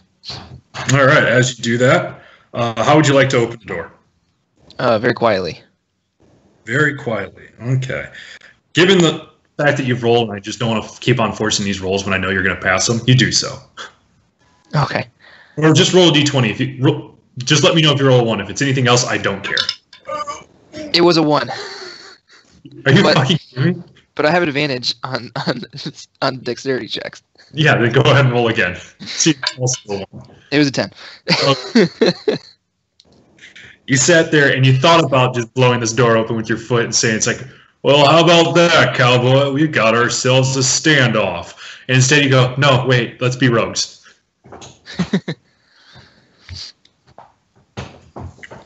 uh, at this point let me get my barbarians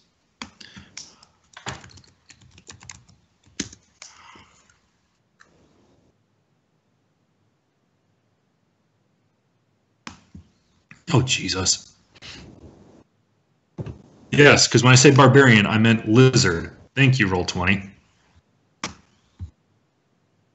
So there is our big guy.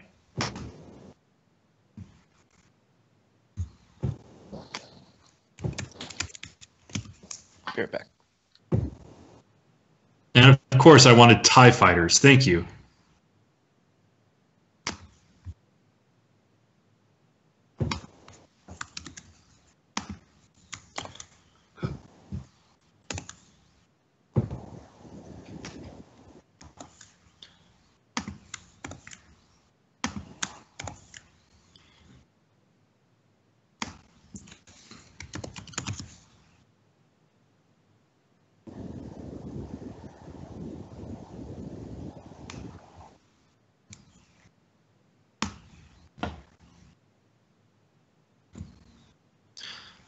All right. So, anybody wants to do anything before we get started with this? Um, like what? Your choices. Uh, we'll get. Uh, let me see what spells he has.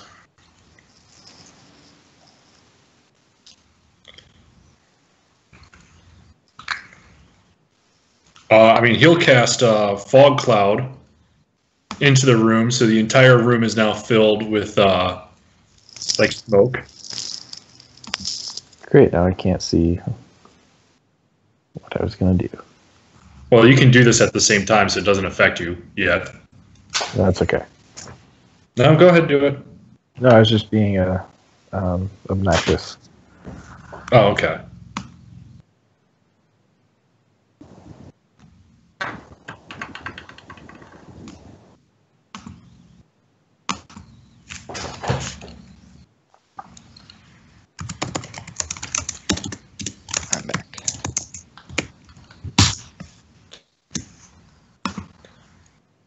So uh, what you missed is that uh, Neferon cast fog cloud into the room. Okay. So you like you can still see shadows. Like the room isn't expansive enough where anybody gets lost in here, but it's easier to kind of like move around stealthily. Are these guys asleep? No, no, they are making some noise, talking about their their raids and their resistances, bludgeoning, piercing, and slashing damage because they're barbarians. Before we go in, do we want me to cast web on them?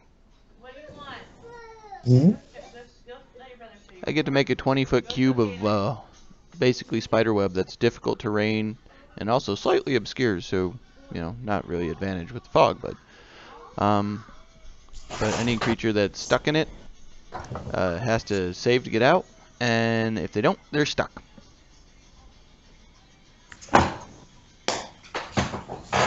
Sure. Oh, Just I think they're getting the idea that uh, that's not marijuana smoke in the room. and the webs are also flammable, so if somebody lights them on fire, these fuckers get cooked a little. Ooh, cool. Alright, so I will use the webs.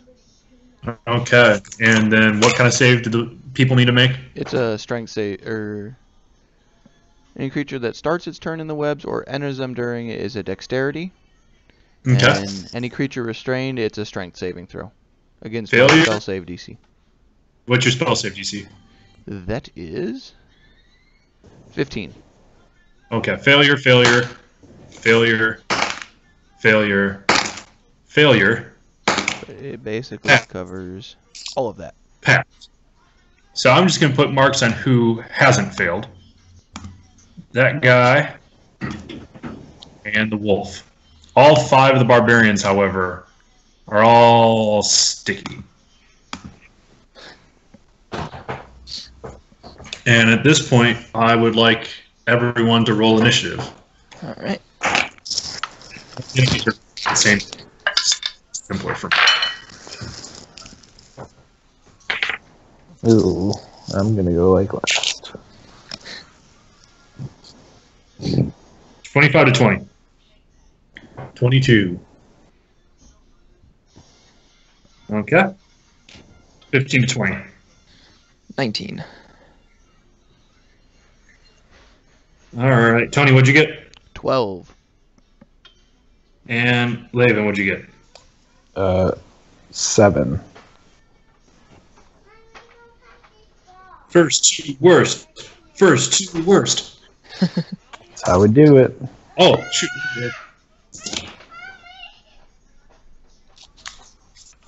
First two, second worst. First two, second worst.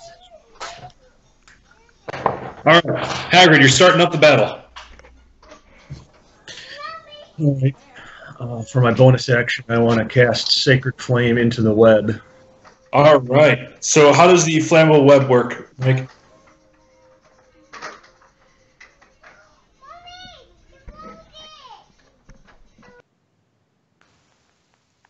Mike?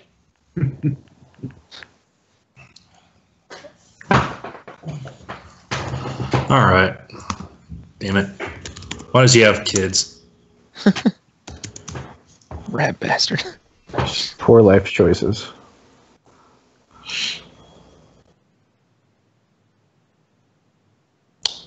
Okay. All right, I figured it out. So go ahead and you are attacking the web and not the creature specifically, correct? Uh, well, it was my understand my understanding that the creatures trapped in the web might take fire Yes. damage. Yep. I just wanted to make sure that you and I were on the same page. Okay, so that's going to change, the AC a little bit uh, in your favor. So go ahead and roll Sacred Flame to hit. And is it this one you're going after, or any specific one? Because the ones with the red dots, or at least I hope they're red, um, are the ones that are not. Um, I don't know. Can the web make a dexterity saving throw? Um, the web gets to last for one round, and it deals 2d4 fire damage when it's caught on fire, and it only takes out a 5 foot cube. Yep. So essentially, what you can do, like this is just for you hitting it. So dexterity saving throw. Nope, it fails. I'm just gonna sit there and say that uh, it auto fails to make it simpler. All right, so it's a, sort of a cube, I guess. Then Yep. uh, I guess I would have tried to target that guy.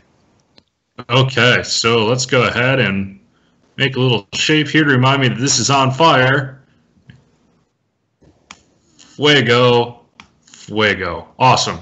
So that's going through. Go ahead and uh, make your sacred flame damage on the target itself, and then when he starts his turn, he'll take the additional fire damage.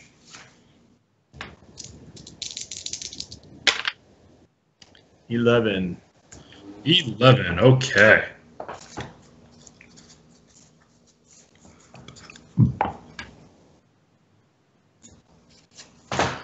Awesome. What else would you like to do? I'd like to move there so no one else is in range, and then uh, switch out to my crossbow. Okay, done. If if that still allows me my action, I want to try and hit the uh, guy at the end of the room. Yeah, that's all okay. Go ahead and roll the hit. Hit the dice. Oh. That's, I don't think a four is going to hit, so A four? I believe so. Unless it's a 44, then that definitely will hit. Yeah, just a four. Okay. One of these days will be a 44.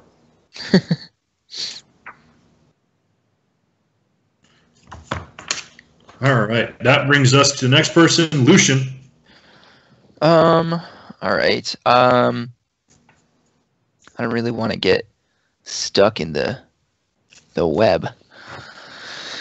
So, um, I will cast uh, Eldritch Blast at um. Yeah, at the big, guy. bad. Yeah, Okay. uh, that's a 14 to hit. No, sorry, 16. Uh, 16 just barely hits. Okay, cool. Um, let's roll. That's 18 damage. Oh, wow. Okay. And then I will. Uh,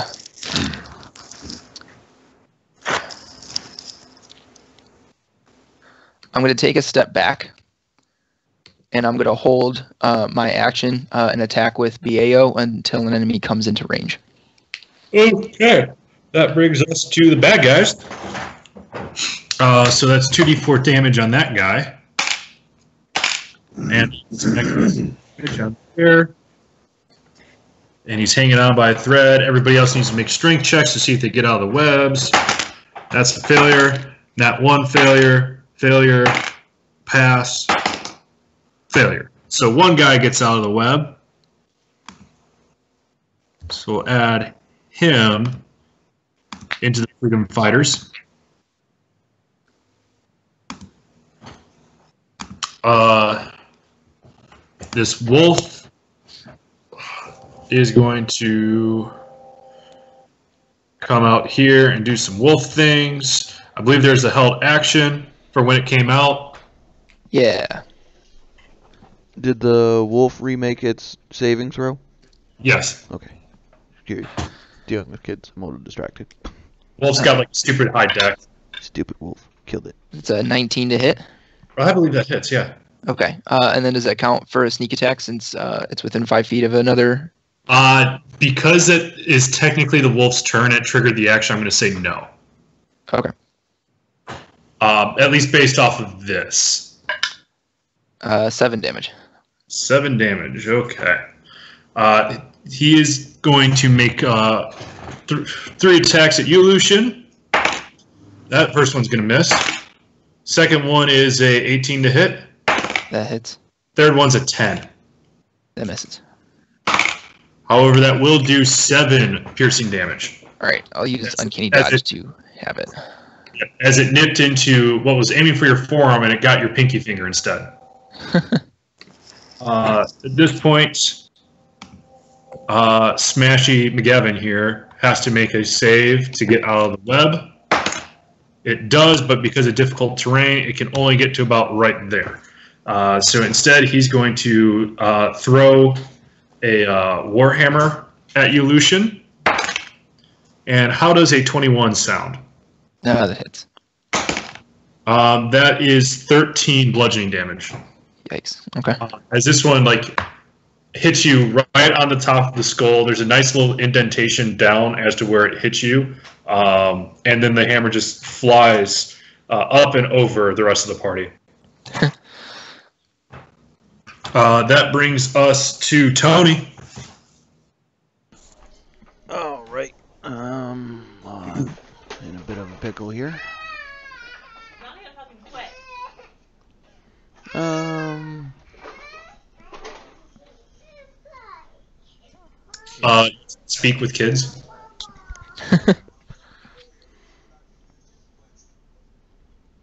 yeah, might as well. Can I just uh poke the wolf in the face and cast light on its freaking snout? You can try. Let's see what happens. What do I need to roll? Let's just go with a uh, melee, because you're trying to use it as a touch spell. Melee spell attack. Um, I got a two. Yeah, I got a two. Uh, based off of all the like spastic motion of the wolf trying to uh, bring Lucian down via his pinky, you missed on your assault. Okay, well then, could I brandish one of my hand axes and try and smack him with it? Yeah, sure. Uh, that is a total of twelve, Uh, that unfortunately will not hit. and I'm spent. It turns out that uh, th- this dodging, while appears to be uncanny, is just a wolf spastically moving. Well, I'm spent. Yep. That brings us to Ezmerelda. Uh, Ezmerelda is going to make a firebolt attack, and that will hit for 2d10 fire damage on the wolf. What does 14 sound like? That sounds like it burns.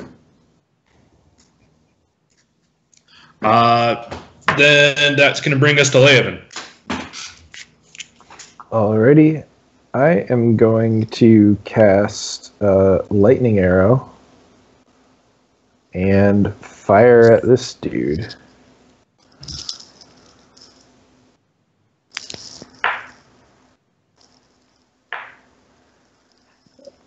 Uh, how's the 17 to hit? 17 will hit. Cool. So. Alright, so he's going to take 48 lightning. 2, 9, 17. Uh, that's 18 lightning damage on that guy. Yeah, hold on one second. Let me just finish sending this text. Uh, which guy? The one in the middle. Uh, the Big Ben. dot. Yeah. Wow. Okay. 18 lightning damage. And then everyone within 10 feet of that guy has to make a dexterity saving throw. Uh, considering they're all restrained by the web, I'm going to say they all automatically fail. Sweet. So they will take Oh, there's one- 11. but he fails anyway. Those guys will take 11 lightning damage. All of them take 11 lightning damage. So uh, this guy has joined the fate of the flammable. Uh, and 11, 11, 11, 11. Good turn. Mm-hmm. Yep, that brings uh anything else you want to do? Uh, I still have an attack, so I'm gonna switch to my rapier and try to stab this wolf. Okay. Uh, 23. Oh, that should hit. That is worth eight piercing. Eight piercing. Cool.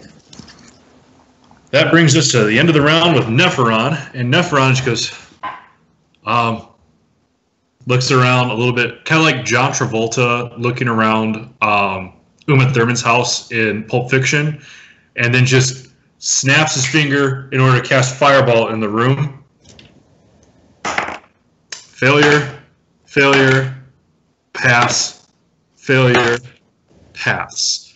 Uh, but that's still 8d6, which that's too many dice. I'm just going to roll this.